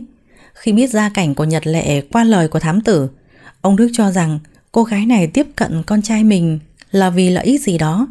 Nhưng hôm nay gặp cô, Dù chỉ mới nói vài câu với nhau, Nhưng ông cảm nhận Nhật Lệ rất khác với tưởng tượng của mình. Cảm ơn cháu, Tôi sẽ cân nhắc lời khuyên của cháu. Thật lòng mong cháu đừng trách tôi. Với tâm trạng của người làm bố Tôi có trách nhiệm phải lo cho con mình chu toàn. Cũng để bù đắp với phần lỗi với người vợ quá cố của tôi. Lúc trước tôi đã quá vô tâm với bà ấy và cả hai đứa con. Tôi sẽ đưa cho cháu một số tiền. Cháu cứ xem như bồi thường tổn thất tinh thần cho cháu. Nhật lệ lắc đầu ngoài ngoại, Cô cắt ngang lời ông Đức. Hôm nay Cháu chấp nhận rời đi vì cháu thật lòng muốn tốt cho Minh Vũ, chứ không vì bất kỳ lý do nào khác. Cháu sẽ không nhận bất cứ đồng nào từ bác đâu. Bác cứ giữ lại đi ạ. Cháu mong sau này bác và anh Vũ sớm giải quyết được hiểu lầm. Giờ cháu còn phải làm việc. Cháu xin phép đi trước ạ. Nhật lệ nghiêng người, cúi đầu chào rồi lập tức quay lưng rời đi. Để lại ông Đức còn đang đứng đó trầm ngâm một lúc. Nhật lệ trốn vào nhà vệ sinh. Cô đã không nhịn nổi nữa mà rơi nước mắt Cô đã dặn lòng không được khóc vì tình một lần nào nữa. Nhưng cuối cùng cô vẫn mềm yếu như thế thôi. Nhật lệ đau lòng, tình cảm của cô và Minh Vũ còn chưa chính thức bắt đầu đã phải kết thúc đau đớn như thế này. Nhật lệ thật lòng không muốn buông tay, nhưng Minh Vũ còn có tương lai, còn có gia đình. Nếu cô không cắt đứt mối duyên này từ sớm, thì nó sẽ ảnh hưởng đến anh. Nhật lệ cố nén nỗi buồn, Cô rửa mặt rồi bình tĩnh trở lại làm việc như chưa có chuyện gì xảy ra. Buổi tối đó, Minh Vũ vẫn đến đón Nhật Lệ như thường lệ. Nhưng Nhìn thấy anh đang hào hứng chờ đợi ở ngoài cửa như vậy, Nhật Lệ chẳng thể nào vui vẻ nổi. Suốt đoạn đường về, Nhật Lệ hầu như nói rất ít, Mặc kệ cho Minh Vũ liên tục gợi chuyện. Minh Vũ cảm nhận Nhật Lệ có gì đó khác lạ. Nhưng cho dù anh có cố gắng dò hỏi, Cô vẫn không hé răng nửa lời. Minh Vũ thở dài, Anh cho rằng cô đang mệt nên mới vậy. Thật ra Minh Vũ đã hoàn thành bức tranh vào chiều nay. Anh định tặng ngay cho cô khi về nhà. Nhưng hôm nay, tâm trạng của Nhật Lệ không tốt. Minh Vũ quyết định ngày mai mới tặng cho cô. Nhật Lệ về đến nhà, Thì lập tức chui vào phòng Mà ngã lên giường. Cô vùi vào gối mà khóc nức nở. Suốt đoạn đường, Cô thật sự đã cố gắng để không khóc. Nhật Lệ vẫn chưa biết mình nên nói như thế nào với Minh Vũ. Nhưng cô biết dù thế nào, Cả cô và anh đều sẽ tổn thương. Nhật Lệ hít một hơi, Nhưng lòng cô đã đưa ra quyết định. Cũng đã hứa với bố anh Sẽ không dây dưa với Minh Vũ nữa. Ngày hôm sau, Nhật Lệ dậy thật sớm, Nhưng lại xin nghỉ làm một hôm. Cô ra chợ rồi trở về nhà nấu một bữa thịnh soạn. Toàn là những món mà Minh Vũ thích nhất. Minh Vũ lập tức bị mùi hương hấp dẫn đánh thức. Nhật Lệ nhìn thấy anh thì mỉm cười. Lại đây ăn đi, Em chắc chắn anh sẽ thích món này. Minh Vũ bước đến bàn ăn, Vui vẻ cầm đũa lên. Quả thật, anh vẫn luôn rất thích món canh gà. Mà Nhật Lệ nấu. Minh Vũ thấy thần sắc Nhật Lệ đã khá hơn, Trong lòng anh cũng nhẹ nhõm đôi chút. Thế nhưng, Minh Vũ không ngờ được, Nhật Lệ sớm đã vỡ vụn từ bên trong rồi. Chỉ là cô cố tình tỏ ra mình ổn trước mặt anh. Hôm nay em không đi làm sao? Sao còn có thời gian thảnh thơi mà nấu nướng vậy? Nhật Lệ tìm một lý do để chống chế. Hôm nay em xin nghỉ một hôm, Muốn cùng anh ra ngoài chơi. Lâu rồi, em chưa dành cho bản thân ngày nào để thư giãn cả. Được thôi. Vừa đúng lúc hôm nay, Anh cũng có chuyện muốn nói với em. Minh Vũ mỉm cười, Hào hứng đồng tình. Hôm nay Nhật Lệ rảnh cả một ngày, Anh sẽ đưa cô ra ngoài chơi, Rồi sẽ tỏ tình cô luôn một thể. Minh Vũ gật gù, Anh cảm thấy ngày hôm nay vừa khởi đầu, Đã thật suôn sẻ. Nhật Lệ cắm cúi mà ăn, Cô không dám nhìn vào mắt Minh Vũ thêm lâu nữa. Ngày hôm nay có lẽ sẽ là ngày tệ nhất trong cuộc đời cô mất thôi. Nhật Lệ hít một hơi, dù sao cũng còn một ngày, cô sẽ cùng Minh Vũ làm những điều mà cô luôn mong ước vì có lẽ sau này chẳng còn cơ hội nào cho họ cả. Cả hai đi qua những con đường trải dài, cùng dạo quanh hồ Đắc Ke, lặng lẽ nắm tay nhau, đứng ngắm nhìn dòng thác ba sĩ dịu dàng với dòng chảy trắng xóa. Đến tối thì họ dừng lại ở một quán quen để nhấm nháp lẩu măng tiêu nóng hổi trong cái thời tiết xe lạnh của măng đen. Một ngày rong ruổi, Nhật Lệ tạm cho phép mình quên đi nỗi đau. Cô cùng với Minh Vũ như một cặp tình nhân thực thụ đang cùng nhau thăm thú tại măng đen. Nhưng cuộc vui nào cũng đến lúc tàn. Đã đến cuối ngày, cả hai trở về nhà. Chờ anh một lát, anh có cái này cho em. Vừa vào trong nhà, Minh Vũ đã nắm lấy vai Nhật Lệ, đưa cô ngồi xuống ghế sofa. Còn anh thì vào phòng làm gì đó. Nhật lệ chỉ ngồi yên đó, Hai bàn tay nắm lấy gấu áo. Minh Vũ trở lại. Anh đến ngồi cạnh Nhật lệ, Lặng lẽ đặt vào tay cô Một hộp quà được gói kỹ càng. Bên ngoài là một chiếc nơ xinh xắn. Nhật lệ khó hiểu nhìn Minh Vũ. Anh hướng mắt về phía trước hộp. Ý nói, cô hãy mở ra. Nhật lệ không nói gì, Cô lặng lẽ tháo chiếc nơ xuống mở nắp hộp ra. Nhật lệ ngẩn người một lúc, Bên trong là một bức tranh lồng trong khung kính. Thế nhưng Nhật Lệ nhận ra người trong bức tranh chính là cô. Ở trong đó, Nhật Lệ đang đứng giữa một rừng hoa, nở nụ cười rạng rỡ. Em có thích không? Anh đã vẽ trong khá lâu đấy. Cũng bỏ rất nhiều tâm tư vào đây. Thật ra anh đã muốn nói điều này với em từ rất lâu rồi. Rằng đối với anh, em còn tỏa sáng hơn rất nhiều so với em trong bức tranh này nữa. Minh Vũ mỉm cười dịu dàng nói.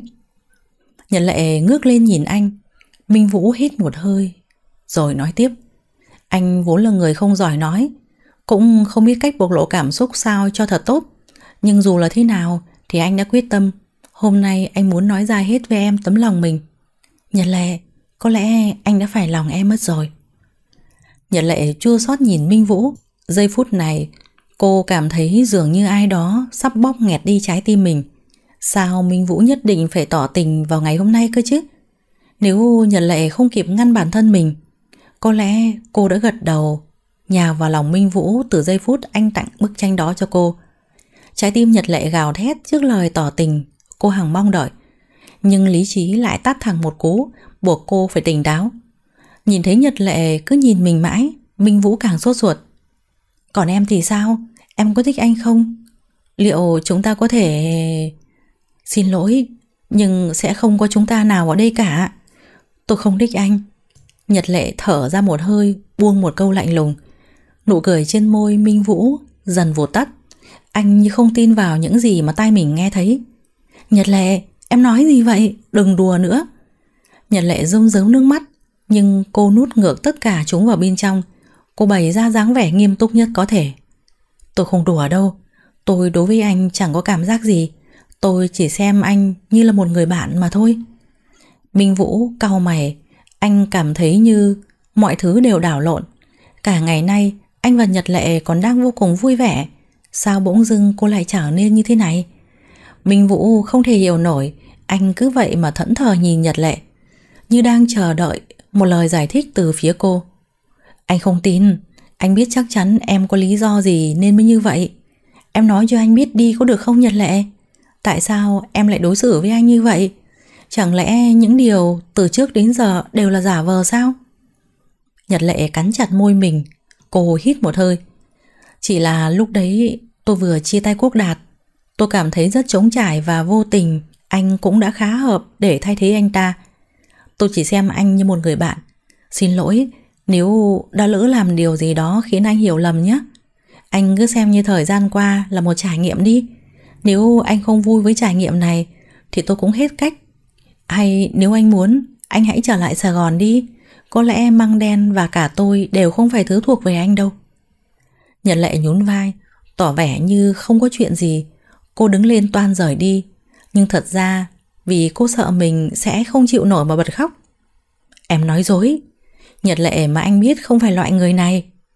Minh Vũ níu lấy tay Nhật lệ, ép cô đối diện với mình. Nhật lệ không còn cách nào, cô giật tay ra khỏi tay Minh Vũ. Cô nhìn quanh, cắn răng cầm khung tranh trên ghế lên rồi ném mạnh xuống sàn nhà gần đó. Tiếng động lớn khiến cả Nhật Lệ và Minh Vũ đều giật bắn. Từng mảnh vỡ vương vãi trên mặt nền. Nhưng Minh Vũ nghe thấy tiếng vỡ lớn hơn. Dường như là tiếng tim anh cũng vỡ ra thành từng mảnh theo động tác của Nhật Lệ. Minh Vũ đứng như trời trồng, nhìn đúng vụn vỡ trên đất. Anh như chết lặng ở khoảnh khắc đó. Nhật Lệ quay mặt đi, cô cố nén những tiếng nấc phát ra. Nhật Lệ không dám nhìn về phía Minh Vũ đang đứng đó. Minh Vũ cười lên một tiếng đầy mỉa mai. Em thắng rồi, anh sẽ không nói thêm gì nữa. Minh Vũ để lại một câu rồi quay lưng ra khỏi nhà. Nhật Lệ nhìn theo bóng lưng đau khổ của Minh Vũ, cô hơi hối hận. Cô muốn vươn tay cản Minh Vũ lại, nhưng anh đã khuất sau màn đêm. Nhật Lệ nhìn xuống sàn nhà, cô cứ thế mà ngồi thụp xuống, nhặt từng mảnh thủy tinh lại. Nhật Lệ mất một hồi lâu để nhặt hết tất cả chỗ đó. Còn lại bức tranh, cô cầm nó lên, vuốt lại cho phẳng phiu, rồi ôm chặt nó vào lòng. Cô thật sự không muốn làm đến bước này. Nhưng nếu không chạm vào được lòng tự trọng cuối cùng của Minh Vũ, nhất định anh sẽ không chịu lùi bước đâu. Nhật Lệ lại khóc. Cô biết mình đã khóc vì chuyện của cô và Minh Vũ bao nhiêu lần, nhưng lần này cô vẫn không nhịn nổi mà nức nở liên hồi. Xin lỗi anh, Minh Vũ, nhưng em không còn cách nào khác nữa. Minh Vũ sau khi ra khỏi nhà, anh không biết mình nên đi đâu. Anh tìm một quán rượu, anh bước vào và gọi một bối rượu mạnh. Minh Vũ trước giờ rất ghét bia rượu, nếu không phải dịp bắt buộc phải uống thì anh sẽ không động vào chúng. Thế nhưng bây giờ anh lại muốn dùng thứ anh ghét cay ghét đắng này để quên đi thực tại. Minh Vũ không thể chấp nhận sự thật. Anh vẫn luôn cảm thấy Nhật Lệ có gì đó rất lạ, nhưng cô không nói ra. Anh cũng không thể nào hiểu được Minh Vũ tự dưng nghi ngờ. Chẳng lẽ thời gian qua, Anh đã ngộ nhận tất cả sao? Minh Vũ lười không muốn nghĩ đến, Anh cứ uống liên tục như thế cả đêm. Nhận lệ cả đêm cũng không ngủ, Cô cứ thế mà khóc đến độ không còn nước mắt để chảy ra. Đến sáng, Khi cô vừa bước ra cửa, Chuẩn bị đến quán thì Minh Vũ trở về. Chỉ sau một đêm, Nhưng nhìn anh suy sụp hẳn. Nhật lệ muốn hỏi thăm nhưng cuối cùng cô lại chọn cách làm ngơ mà lướt ngang. Còn không thèm tặng Minh Vũ một ánh nhìn nào. Nhìn theo bóng lưng Nhật Lệ, Minh Vũ dường như chết trận. Anh thở dài, anh trở về thu xếp hành lý đồ đạc trong phòng. Thật ra đồ cá nhân của Minh Vũ vốn không nhiều, anh chỉ thu gom một loáng là xong xuôi. Minh Vũ tranh thủ sang nhà chị Trầm để trả tiền thuê tháng này và nói với chị về việc mình sẽ rời đi. Phản ứng của chị không giấu nổi 10 phần ngạc nhiên. Chị Trầm cứ gặng hỏi mãi, nhưng Minh Vũ không nói gì cả. Anh chỉ cảm ơn chị vì suốt khoảng thời gian vừa qua đã giúp đỡ anh. Minh Vũ đón chuyến xe sớm nhất, anh đã quyết định sẽ trở lại Sài Gòn, rong ruổi bấy lâu nay, có lẽ đã đến lúc trở về. Minh Vũ cứ ngỡ Măng Đen và Nhật Lệ là tổ ấm mới, là nơi cư ngụ của một cánh chim lạc đàn như anh. Nhưng cuối cùng, có lẽ cả hai đều không phải thứ dành cho anh. Chuyến xe từ từ lăn bánh, Minh Vũ ngồi tựa đầu vào ô cửa, nhìn Măng Đen qua cửa kính. Từng ngóc ngách đều ngập tràn kỷ niệm. Ký ức nào cũng không thể nào quên được. Minh Vũ nhắm mắt, cố ép buộc bản thân không nghĩ đến nữa. Có lẽ anh sẽ chẳng có cơ hội hay lý do để có thể trở lại nơi đây một lần nào nữa. Minh Vũ đã rời đi. Đúng như điều Nhật Lệ mong muốn, cô cũng không rõ anh đã dọn đi từ lúc nào. Vì chỉ một buổi tối khi cô vừa đi làm về, Nhật Lệ đã nhìn thấy căn phòng đối diện mình trống trơn. Nếu không phải những ký ức vẫn còn tồn tại ở đó, thì Nhật Lệ thậm chí suýt chút không nhận ra dấu vết từng có người thuê ở căn phòng đó. Tất cả đường trả lại trọn vẹn, y như chưa từng có sự xuất hiện của anh chàng tên là Minh Vũ nào hết. Chỉ có hai chiếc chìa khóa nằm chỏng chơi trên bàn ăn, nhắc nhở Nhật Lệ rằng Minh Vũ thật sự đã rời đi rồi.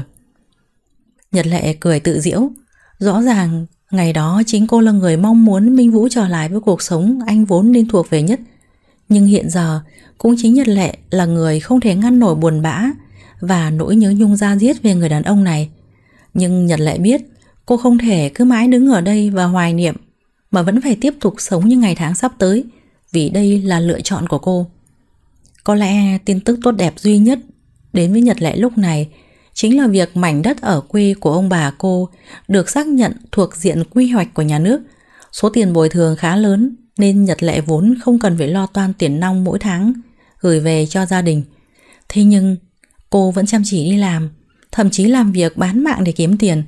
Có lẽ cô muốn để bản thân bận rộn như thế để chẳng còn thời gian nhớ đến Minh Vũ nữa.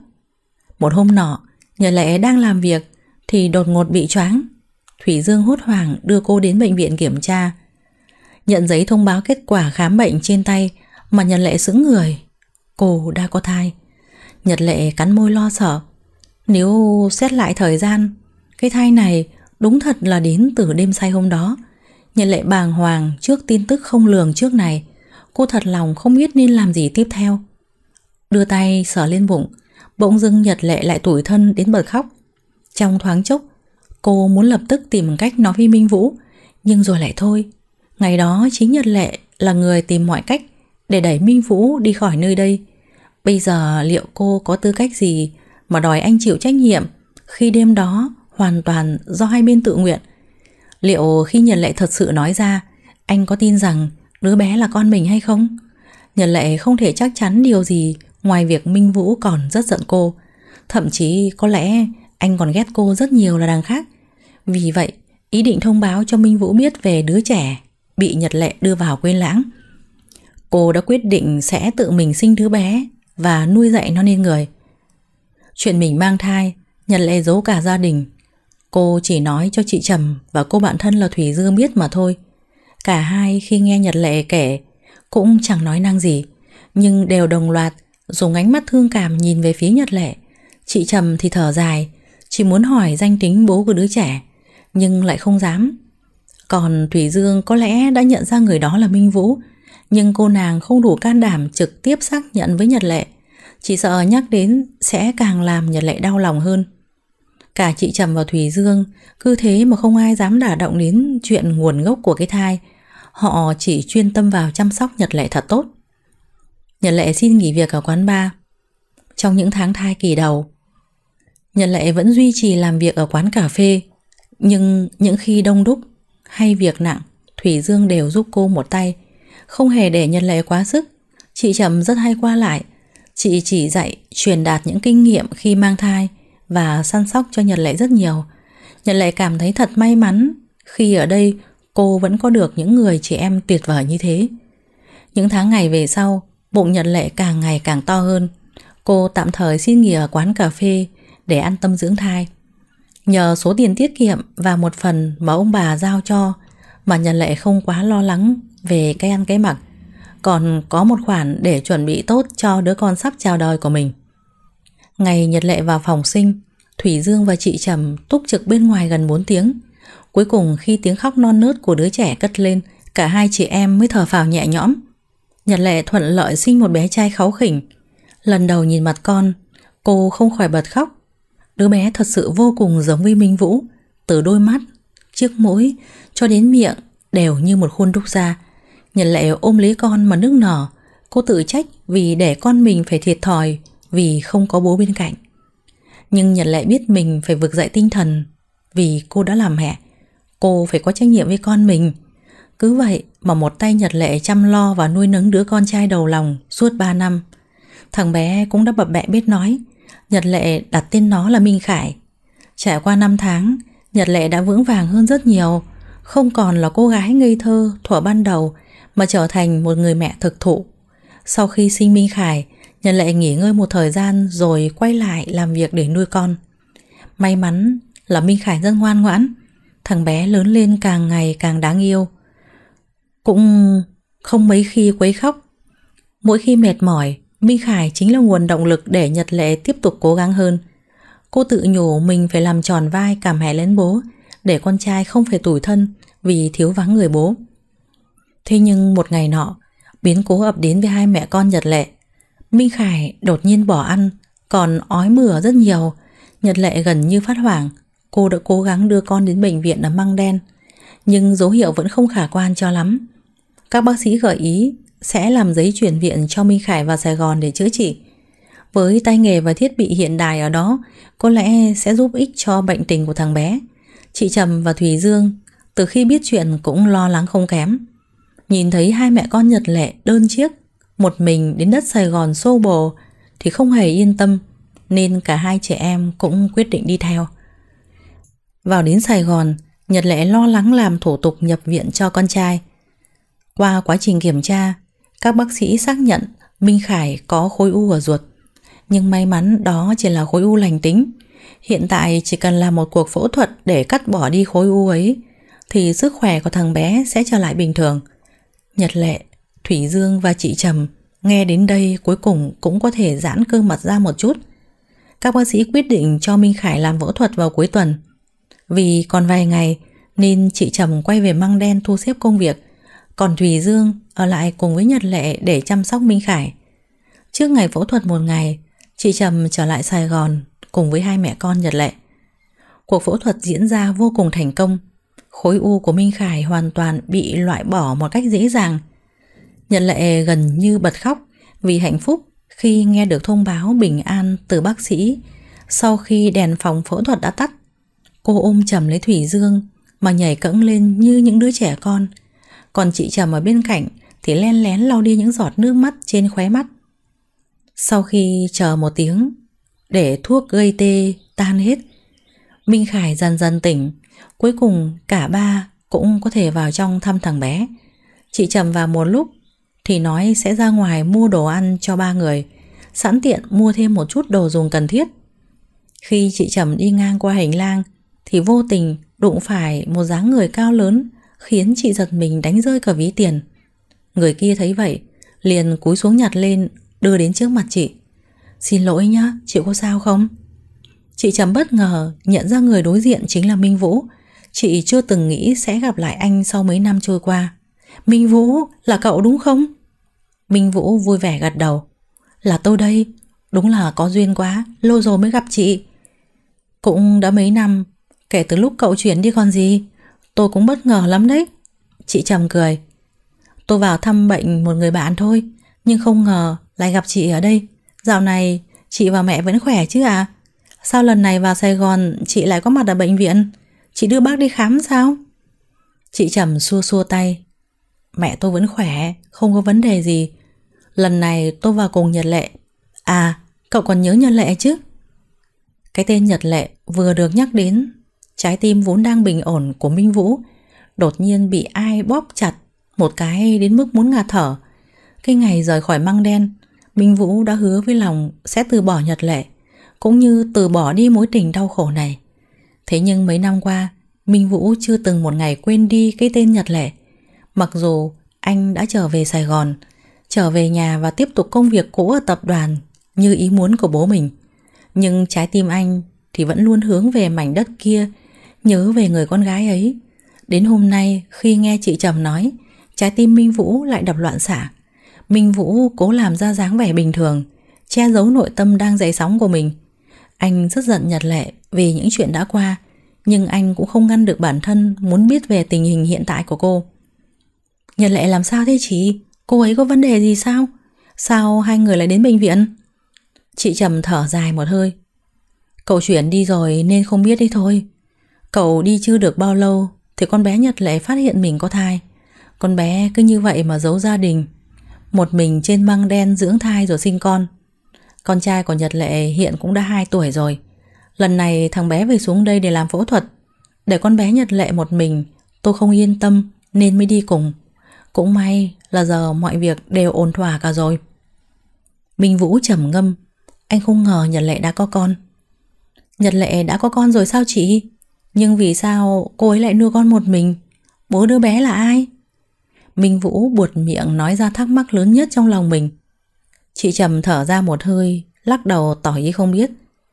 Con bé nhất định không nói, nên tôi cũng không dám ép nó. Cậu biết Nhật Lệ vốn là đứa nhóc cứng đầu mà. Minh Vũ nhìn chị Trầm, định hỏi thêm gì đó nhưng lại thôi. Chị Trầm như sực nhớ ra gì đó vội vã nói. Bây giờ tôi phải đi mua một ít đồ nếu cậu có thời gian Thì ghé thăm hai mẹ con Nhật Lệ một lúc đi. Chị Trầm nói cho Minh Vũ biết số phòng của Minh Khải Đang tịnh dưỡng rồi rời đi. Đi được vài bước, Chị ngoái đầu lại nhìn Minh Vũ. Chị Trầm đã từng nghĩ đến mọi trường hợp, Nhưng không ngờ sẽ gặp lại Minh Vũ tại nơi này. Thật ra, Việc gặp Minh Vũ ở đây là tình cờ, Nhưng cuộc trò chuyện từ nãy đến giờ Là chị Trầm cố ý nói cho anh nghe.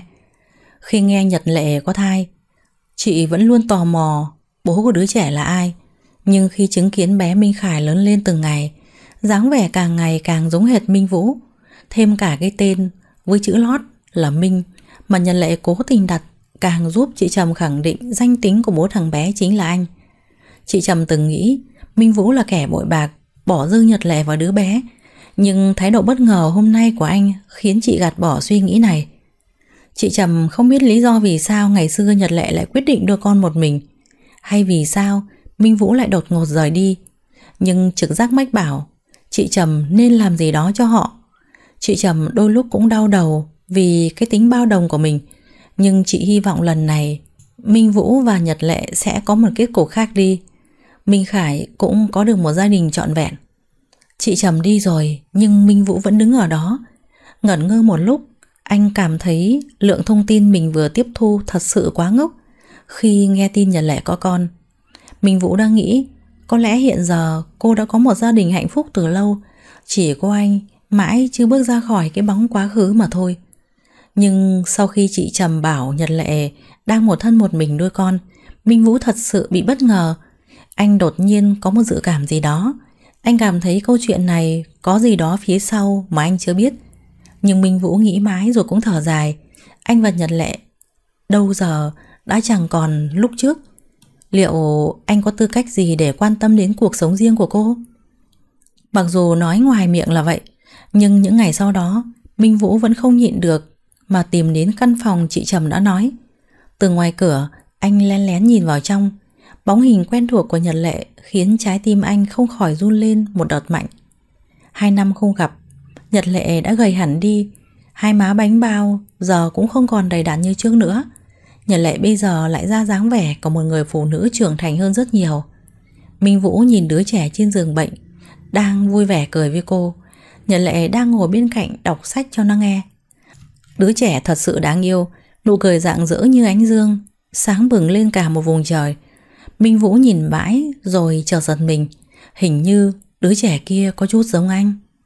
Nghĩ đến những lời chị Trầm vừa mới nói Minh Vũ không muốn nghĩ nhiều Cũng rất khó Anh trầm ngâm đứng sau cánh cửa nhìn hai mẹ con Nhật Lệ vui đùa với nhau Minh Vũ lấy điện thoại gọi điện cho người bạn làm bác sĩ tại bệnh viện này. Anh nhỏ tiếng dặn dò người bạn ấy một việc gì đó rồi lặng lẽ rời đi. Minh Khải sau khi phẫu thuật thì ở lại bệnh viện một tháng để theo dõi. Suốt một tháng đó, Thủy Dương và chị Trầm thay phiên nhau lên xuống để phụ Nhật Lệ chăm sóc thằng bé. Tình hình của Minh Khải rất khả quan, hồi phục cũng khá tốt nên các bác sĩ dự định sẽ cho thằng bé xuất viện sớm khoảng nửa tuần. Hôm đó, đúng giờ, chị Trầm đưa Minh Khải đi tiêm thuốc, chỉ còn Thủy Dương và Nhật Lệ ngồi trong phòng vừa sắp xếp đồ vừa tán gẫu. Sau khi xuất viện, hai mẹ con cậu sẽ lên băng đen ngay à? Có định ở lại thành phố vài hôm không? Thủy Dương dọn đồ trên bàn, vừa nói vừa không ngơi tay. Nhật Lệ dừng động tác đôi chút, nhưng cô lập tức lắc đầu. Ở lại đây cũng chẳng làm gì cả, chắc là tớ sẽ đưa thằng bé về lại măng đen nghỉ ngơi cho khỏe hẳn. Tớ định sẽ đưa thằng bé về lại quê để gặp ông bà và em trai tớ. Thủy Dương ý vị nhìn Nhật Lệ. Tớ còn tưởng cậu sẽ đưa nó đi gặp người đó. Nhật Lệ cảm nhận được Thủy Dương muốn nói điều gì, nhưng cô lại cố tình vờ như mình không hiểu. Người nào cơ? Đừng có giả vờ, tớ với cậu còn chưa đủ thân thiết à? Tớ đã chứng kiến toàn bộ câu chuyện của cậu và anh ấy. Nhưng Minh Khải thật sự cũng cần biết bố nó là ai mà. Cậu đừng cứ mãi cứng đầu như thế được không? Cậu nghĩ cho anh ấy. Vậy ai nghĩ cho cậu đây hả Nhật Lệ? Nhật Lệ cười buồn. Có lẽ để sau đi. Tớ đã quên những chuyện đó rồi. Tớ cảm thấy một mình tớ cũng có thể chăm sóc tốt cho Minh Khải. Tớ không muốn phiền đến cuộc sống hiện tại của anh ấy. Nếu tớ đột ngột xuất hiện, còn có cả một đứa con từ trên trời rơi xuống đi kèm, Chắc chắn sẽ khiến cho Minh Vũ khó xử Mà nhiều khi bây giờ, Anh ấy đã yên bề ra thất, Làm sao còn nhớ đến một mối tình thoáng qua như tớ chứ Với cả tớ cũng đã hứa với bố anh ấy rồi Cậu đúng thật là Thủy Dương cứng họng Vậy ra vì bố anh, Nên năm đó Em mới muốn đẩy anh ra xa em à? Còn không thèm cho anh cơ hội vùng vẫy nữa cơ đấy. Nhật lệ, Em đúng thật là vô tình đấy. Giọng nói quen thuộc Cất lên từ phía cửa, Khiến cho trái tim của Nhật Lệ giật bắn. Hai bờ vai cô run run. Cô không cần quay đầu lại, Cũng biết được giọng nói này là của ai. Minh Vũ đã đứng ở bên ngoài, Từ lúc Nhật Lệ và Thủy Dương đang nói chuyện anh vốn định chờ hai người nói xong mới vào trong Nhưng đến khi Nhật Lệ buột miệng Nhắc đến bố mình Thì Minh Vũ không thể nhịn nổi nữa mà lên tiếng xen ngang cuộc đối thoại của hai cô gái. Nhật lệ cứng đơ người, cô lặng yên không dám quay đầu, còn Thủy Dương thì há hốc miệng khi chứng kiến sự xuất hiện đột ngột của Minh Vũ. Thủy Dương quay sang nhìn Nhật lệ, rồi lại nhìn Minh Vũ. Minh Vũ gật đầu một cái, Thủy Dương cũng hiểu ý, cô rời đi để lại không gian cho cả hai. Lâu rồi không gặp, không có gì muốn nói với anh à? Minh Vũ tiến đến trước mặt Nhật Lệ. Nhật lệ lảng tránh ánh mắt của anh. Không có. Minh Vũ cúi người nhìn thẳng vào mắt cô. Nhưng anh thì có đấy Rất nhiều là đằng khác. Nhưng Minh Khải đâu rồi? Con trai chúng ta đâu? Nhật lệ giật mình khi nghe đến hai từ con trai. Cô tròn mắt nhìn Minh Vũ. Cô không nghĩ rằng Minh Vũ sẽ nói ra những lời này Nhật lệ cố lấy lại bình tĩnh Hít vào một hơi Con trai gì chứ Anh nói gì tôi chẳng hiểu Nhật Lệ không nhận ra giọng cô hiện tại có bao nhiêu là phần run rẩy. Đừng giấu giếm nữa, vô ích thôi. Anh đã nhờ một người bạn bác sĩ của anh kiểm tra ADN. Kết quả đã chứng minh Minh Khải là con trai anh. Minh Vũ đưa kết quả xét nghiệm đến trước mặt Nhật Lệ. Ngày hôm nay, khi vừa nghe bạn mình thông báo, Minh Vũ đã tức tốc đến đây và nghe được cuộc trò chuyện lúc nãy. Minh Vũ dường như đã sâu chuỗi toàn bộ sự việc anh nhận ra bấy lâu nay anh và Nhật Lệ đã bỏ lỡ nhau lâu đến như vậy. Cầm tờ kết quả nhưng Nhật Lệ không thèm nhìn đến. Cô buông thõng hai tay bên thành giường. Nhật Lệ tưởng rằng sau bấy nhiêu lâu mình đã ổn. Nhưng Minh Vũ chỉ vừa xuất hiện, cô nhận ra mình đã đầu hàng chịu trói trước anh mất rồi. Mấy năm trước là thế, bây giờ vẫn thế. Nhật Lệ xoay mặt đi hướng khác, cô nén những giọt nước mắt trực trào ra.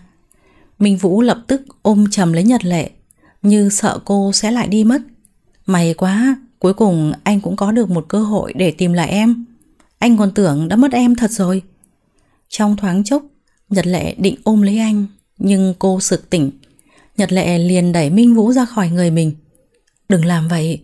Tôi và anh đã nói rõ từ hôm đó rồi. Hai chúng ta... Nhật Lệ lại nói ra những lời dối lòng. Cô chưa kịp nói hết, Thì Minh Vũ đã nắm lấy tay cô. Bố anh đã tìm em đúng không? Anh đã biết tất cả rồi. Sao em ngốc vậy? Em không có niềm tin ở anh. Không có niềm tin vào tình cảm của chúng ta đến vậy sao? Anh sẽ không giống như những người trước. Bỏ rơi em Chỉ vì hai chữ Sự nghiệp hay tương lai đâu. Nhật lệ nghe anh nói thì dương dương xúc động. Cô đã chuẩn bị mọi tinh thần Để không gặp lại Minh Vũ. Nhưng đến lúc này, Minh Vũ lại xuất hiện ngay tại đây. Trước mắt cô như thế này, Còn nói ra những lời dịu dàng đến vậy. Nhật lệ cố nắm lấy một tia lý trí sót lại. Em... em không muốn anh mất đi cơ hội phát triển. Càng không muốn mình là viên đá ngáng chân tương lai của anh. Sẽ không đâu. Anh đã từng vô định, Không biết nên làm gì. Nhưng nhờ có em anh mới có niềm tin vào tương lai. Mấy năm nay anh làm việc Đã có tích góp được một khoản tiết kiệm. Anh dự định sẽ mở một quán cà phê Kết hợp với triển lãm tranh. Cuối tuần sẽ mở những workshop dạy vẽ tranh. Khi anh đến với Măng Đen Nơi đó vốn chỉ là điểm dừng chân của anh. Nhưng nhờ có em, anh đã quyết định xem nơi đây là nơi sinh sống lâu dài. Anh sẽ thu xếp mọi việc ở tập đoàn, sau đó trở lại măng đen cùng em và con. Hãy chờ anh nhé. Minh Vũ khẽ vuốt mái tóc của Nhật Lệ, dịu dàng nói ra những dự định trong lòng mà anh luôn muốn nói với cô. Thật ra sau khi rời khỏi măng đen và trở lại Sài Gòn, Minh Vũ vẫn quay về làm việc cho tập đoàn. Vì thân phận là con trai của chủ tịch và nhờ năng lực xuất sắc của Minh Vũ nên cả tập đoàn không có quá nhiều lời ra tiếng vào. Trong 3 năm nay, mặc dù Minh Vũ đã quay về nhưng mối quan hệ của anh và ông Đức vẫn không có tiến triển gì khả quan. Minh Vũ thuê một căn hộ dọn ra ở riêng. Anh không hề về nhà mà mỗi năm chỉ về một lần vào ngày rỗ mẹ để thắp hương cho bà. Minh Phong cũng đã nhiều lần cố hàn gắn mối quan hệ giữa bố và em trai nhưng đều không thành công vì Minh Vũ và ông Đức đều giống hệt nhau ở cái tôi cao vút, không một ai chịu nhún nhường trước. Tuy làm việc ở tập đoàn nhưng Minh Vũ vẫn nuôi những hoài bão rất riêng. Trong 3 năm nay, anh cũng đã có được một kế hoạch, nhưng Minh Vũ vẫn luôn chần chừ vì anh không có một động lực mạnh mẽ nào thúc đẩy. Giờ đây, sự xuất hiện của Nhật Lệ và Minh Khải khiến cho nhiệt huyết trong trái tim anh lại được thổi bồng lên. Còn Nhật Lệ nghe Minh Vũ nói đến đây thì đã không còn giữ được bình tĩnh. Hai mắt cô nhòe đi bởi những tầng nước trong suốt. Nhật lại không nghĩ Minh Vũ lại yêu thương cô nhiều đến thế. Càng không dám tin anh vì cô mà tính toán cho tương lai cả hai. Nhật Lệ hít một hơi. Cô đem bức tranh Minh Vũ tặng cô từ trong túi sách nhỏ cô luôn mang theo, chìa ra trước mặt anh. Em xin lỗi, em thật sự chưa từng muốn đẩy anh ra xa. Em cũng muốn bên anh thật lâu Nhưng em lại quá hèn nhát Bức tranh của anh tặng Em không hề muốn làm hỏng đâu Em vẫn luôn giữ nó bên cạnh mình Minh Vũ Em cũng yêu anh nhiều lắm. Những năm qua mỗi ngày Em đều nhớ đến anh Không sót một ngày nào. Trong tiếng nước nở Cuối cùng sau bao nhiêu đó thời gian Nhật Lệ cũng nói ra hết được lòng mình với Minh Vũ. Minh Vũ dịu dàng lau nước mắt cho cô. Được rồi, anh không trách em đâu. Anh biết em cũng có nỗi khổ riêng Nhưng chỉ một lần thôi nhé Sau này dù ra sao Cũng đừng đẩy anh đi rồi chịu đựng một mình nữa được không? Hứa với anh đi. Nhật lệ hạnh phúc gật đầu. Minh Vũ kéo cô vào. Một cái ôm thật dài. Thủy Dương ở bên ngoài nhìn thấy cảnh này thì thở vào. Chị Trầm đã đưa Minh Khải đi tiêm thuốc trở về. Nhìn thấy Minh Vũ và Nhật Lệ đang chờ sẵn. Chị Trầm dường như đã tinh ý mà hiểu ra tình huống. Thằng bé Minh Khải ngơ ngác nhìn người đàn ông lạ mặt. Nhưng khi Minh Vũ tiến đến bế nó lên, thằng bé không hề quấy khóc, mà cũng ôm lấy anh, tì gò má lên gò má của anh. Nhân lại mỉm cười, hạnh phúc nhìn hai bố con, nước mắt hạnh phúc cứ vậy tuôn trào. Thời gian tiếp theo, Nhật Lệ tập trung sức lực để giúp đỡ Minh Vũ phát triển kế hoạch mở quán cà phê. Minh Vũ dành vài tuần để thu xếp công việc ở Sài Gòn, sau đó giữ lời hứa trở lên cùng mẹ con Nhật Lệ. Minh Khải cũng đã quen với Minh Vũ Thậm chí hai bố con còn thân thiết đến độ Nhật Lệ ghen tị Nhật Lệ và Minh Vũ cũng tranh thủ tìm mua một khu mặt bằng thích hợp chuẩn bị xây dựng và trang hoàng, trang trí cho quán. Vì đã có kinh nghiệm làm ở quán cà phê từ trước nên Nhật Lệ đỡ đần và góp cho Minh Vũ rất nhiều lời khuyên thú vị và hữu ích. Quán cà phê đã đi vào hoạt động. Thật may mắn vì ý tưởng độc đáo và mới lạ mà quán cà phê của Minh Vũ và Nhật Lệ thu hút rất nhiều khách đến. Có hôm cả hai bận rộn đến tối mịt. Thế nhưng Nhật Lệ và Minh Vũ đều cảm thấy vui vẻ với công việc này. Tình cảm theo đó mà tăng dần. Nhật Lệ cũng từng thử đề cập với Minh Vũ về chuyện của bố anh. Nhưng Minh Vũ chỉ bảo là cô đừng lo. Minh Vũ cũng từng một lần trở về Sài Gòn khoảng một tuần để xử lý công việc ở tập đoàn và cả việc của bố. Không biết mọi chuyện như thế nào, nhưng khi Minh Vũ trở lại, anh chỉ nói với Nhật Lệ mọi thứ đã ổn thỏa. Nhật Lệ cũng đắn đo, nhưng lâu dần, vì bận bịu mà cô cũng quên bén đi chuyện này. Cho đến cuối năm, ông Đức một lần nữa đến tận quán cà phê tìm cô. Nhật Lệ và ông Đức ngồi đối diện với nhau. Khói vẫn nghi ngút bốc lên từ hai ly cà phê trên bàn. Thế nhưng lần này Nhật Lệ đã không còn yếu đuối như lúc trước. Cô tự tin nhìn thẳng vào ông Đức khi cả hai ngồi đối diện.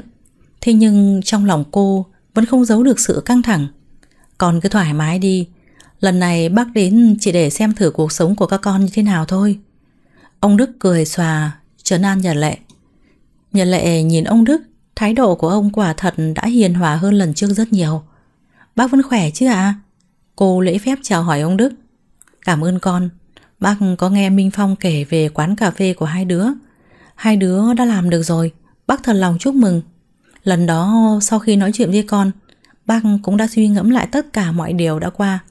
Lần trước, Minh Vũ trở về, hai bố con bác cũng đã nói rõ với nhau. Lâu lắm hai bố con mới nói với nhau nhiều như vậy. Minh Vũ hứa với bác, chỉ cần cho nó một năm, nó sẽ chứng minh cho bác thấy sự lựa chọn của nó là đúng. Cho dù là lựa chọn ở lại măng đen khởi nghiệp hay lựa chọn ở bên con. Nhưng hôm nay đến đây, nhìn thấy mọi thứ diễn ra, bác nghĩ thời hạn một năm này cũng không còn quan trọng nữa. Có lẽ thật sự bác nên để đứa nhóc này làm điều nó thích. Ông Đức nhìn quanh quẩn, mỉm cười hiền từ. Nhật lại mừng thầm khi nhìn thấy thái độ của ông Đức không còn gay gắt như trước nữa. Lòng cô như gỡ bỏ một gánh nặng nghìn cân. Cháu cảm ơn bác đã hiểu cho cháu. Nếu Minh Vũ nghe được những lời này chắc chắn sẽ rất vui. Ông Đức ngừng lại đôi chút rồi tiếp tục nói. Lần này bố đến gặp con chỉ để hỏi thăm tình hình của con và Minh Vũ và còn cả Minh Khải nữa. Bố đang nghe nói về thằng bé. Thật lòng bố cảm thấy rất hối hận vì ngày xưa đã ngăn cản hai đứa. Còn vô tình khiến hai mẹ con con và Minh Vũ phải xa cách nhau. Trải qua nhiều chuyện, bố nhận ra con là người tốt. Còn thật lòng yêu thương con bố. Sau này có lẽ nhờ hết vào con.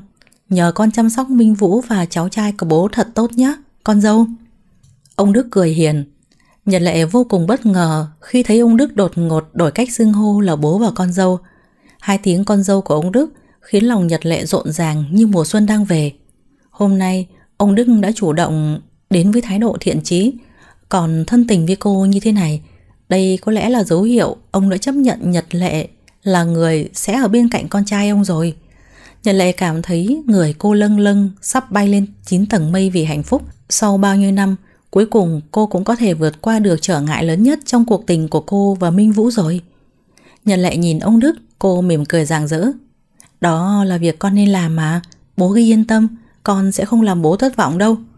Bố trở về cũng nhớ giữ gìn sức khỏe nhé, bọn con sẽ về thăm bố sớm nhất có thể. Ông Đức gật đầu mãn nguyện, nói thêm vài câu thì định rời đi. Vừa ra đến cửa, đột nhiên tay ông bị một bàn tay nhỏ nắm lấy. Ông ơi! Minh Khải ngước đôi mắt trong veo nhìn ông Đức. Nó dơ viên kẹo trong tay ra trước mặt ông, giọng điệu ngây ngô vẫn chưa tròn chữ. Nhưng lời nói bập bẹ của đứa bé lại khiến trái tim ông Đức tan ra một cỗ mềm mại. Ông Đức mỉm cười đón lấy viên kẹo từ tay Minh Khải. Ông ngồi xổm xuống ngắm nhìn đứa cháu đáng yêu. Càng lớn, Minh Khải càng có nét giống như bố nó. Ông Đức vươn tay xoa đầu thằng bé thật dịu dàng. Hai ông cháu cứ thế một lúc lâu thì ông Đức mới rời đi. Trước lúc rời đi hẳn, ánh mắt ông vẫn còn luyến tiếc nhìn về phía Minh Khải đang vui vẻ vẫy tay với mình. Nhật Lệ ôm lấy Minh Khải vào trong quán, cô hắng giọng. Anh còn định trốn ở đó đến bao giờ? Minh Vũ biết đã bị phát hiện, anh từ từ bước đến, tiến đến ôm lấy eo Nhật Lệ, ôm cả Minh Khải lên trên tay. Anh nghe hết rồi à? Sao anh không ra gặp bố? Nhật Lệ cũng vòng tay ôm lấy cổ anh. Anh ở đó vì sợ ông ấy lại làm khó dễ em thôi. Minh Vũ cười buồn. Mặc dù anh nói như thế, nhưng Nhật Lệ biết anh cũng rất nhớ ông Đức. Cô vùi đầu vào ngực Minh Vũ. Bác ấy, à không, là bố chứ. Át hẳn thời gian qua bố cũng đã hối hận lắm. Em thấy bố cũng đã cố gắng thay đổi hơn lúc trước rất nhiều. Nhật Lệ thỏ thẻ. Minh Vũ tựa cầm vào đầu cô. Anh nhìn xa xăm. Nhật Lệ cũng không biết anh đang nghĩ gì. Cô vừa định mở lời tiếp thì nghe tiếng Minh Vũ. Lần sau có dịp, em và Minh Khải cùng anh về Sài Gòn thăm bố nhé. Tiện thể gặp anh hai anh luôn một thể. Nhật Lệ ngước nhìn lên Minh Vũ. Anh cũng cúi đầu. Nhìn vào mắt cô, Nhật Lệ mỉm cười. Cô nhón chân đặt một nụ hôn lên môi Minh Vũ. Có lẽ hiểu lầm và hiểm khích của anh và bố mình sẽ sớm ngày được giải quyết. Nhật Lệ thật lòng chỉ mong ngày đó mau đến. Đối với Nhật Lệ, cuộc sống hiện tại như một bức tranh với những gam màu đan xen. Có những gam màu tươi sáng tinh nghịch, có gam màu hồng phấn ngọt ngào, nhưng cũng có những gam màu xám xịt. Có lẽ bức tranh cuộc đời của mỗi người đều như thế, nhưng dù thế nào, Nhật Lệ cũng cảm thấy mình thật may mắn khi bức tranh cuộc đời của cô có sự hiện diện của Minh Vũ và đứa con trai đáng yêu của hai người. Từ đây chắc chắn Nhật Lệ sẽ cùng anh và con điểm tô cho bức tranh tình yêu thêm những sắc màu tuyệt vời hơn thế nữa, chắc chắn là vậy. Quý vị và các bạn thân mến, cuộc sống luôn có những điều bất ngờ.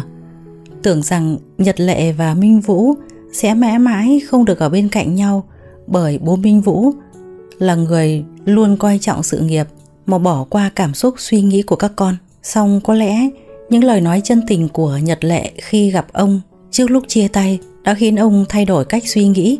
Cuối cùng thì ông cũng đã ngộ ra rằng không thể cưỡi ép con trai theo ý mình và có lẽ ông trời đã khéo sắp đặt cho duyên phận của Nhật Lệ và Minh Vũ. Giờ đây họ đã trở về bên nhau trong niềm hạnh phúc ngập tràn. Đối với Nhật Lệ, cuộc sống hiện tại như một bức tranh với những gam màu đan xen. Có những gam màu tươi sáng tinh nghịch, có gam màu hồng phấn ngọt ngào, nhưng cũng có những gam màu xám xịt. Có lẽ bức tranh về cuộc đời của mỗi con người cũng như vậy. Nhưng dù thế nào, Nhật Lệ cũng cảm thấy mình thật may mắn khi bức tranh cuộc đời của cô có sự hiện diện của Minh Vũ và đứa con trai đáng yêu của hai người. Từ đây, chắc chắn Nhật Lệ sẽ cùng Minh Vũ và con điểm tô cho bức tranh tình yêu thêm những sắc màu tuyệt vời hơn thế nữa. Câu chuyện đã kết thúc ở đây rồi. Cảm ơn quý vị và các bạn đã lắng nghe. Chào tạm biệt và hẹn gặp lại.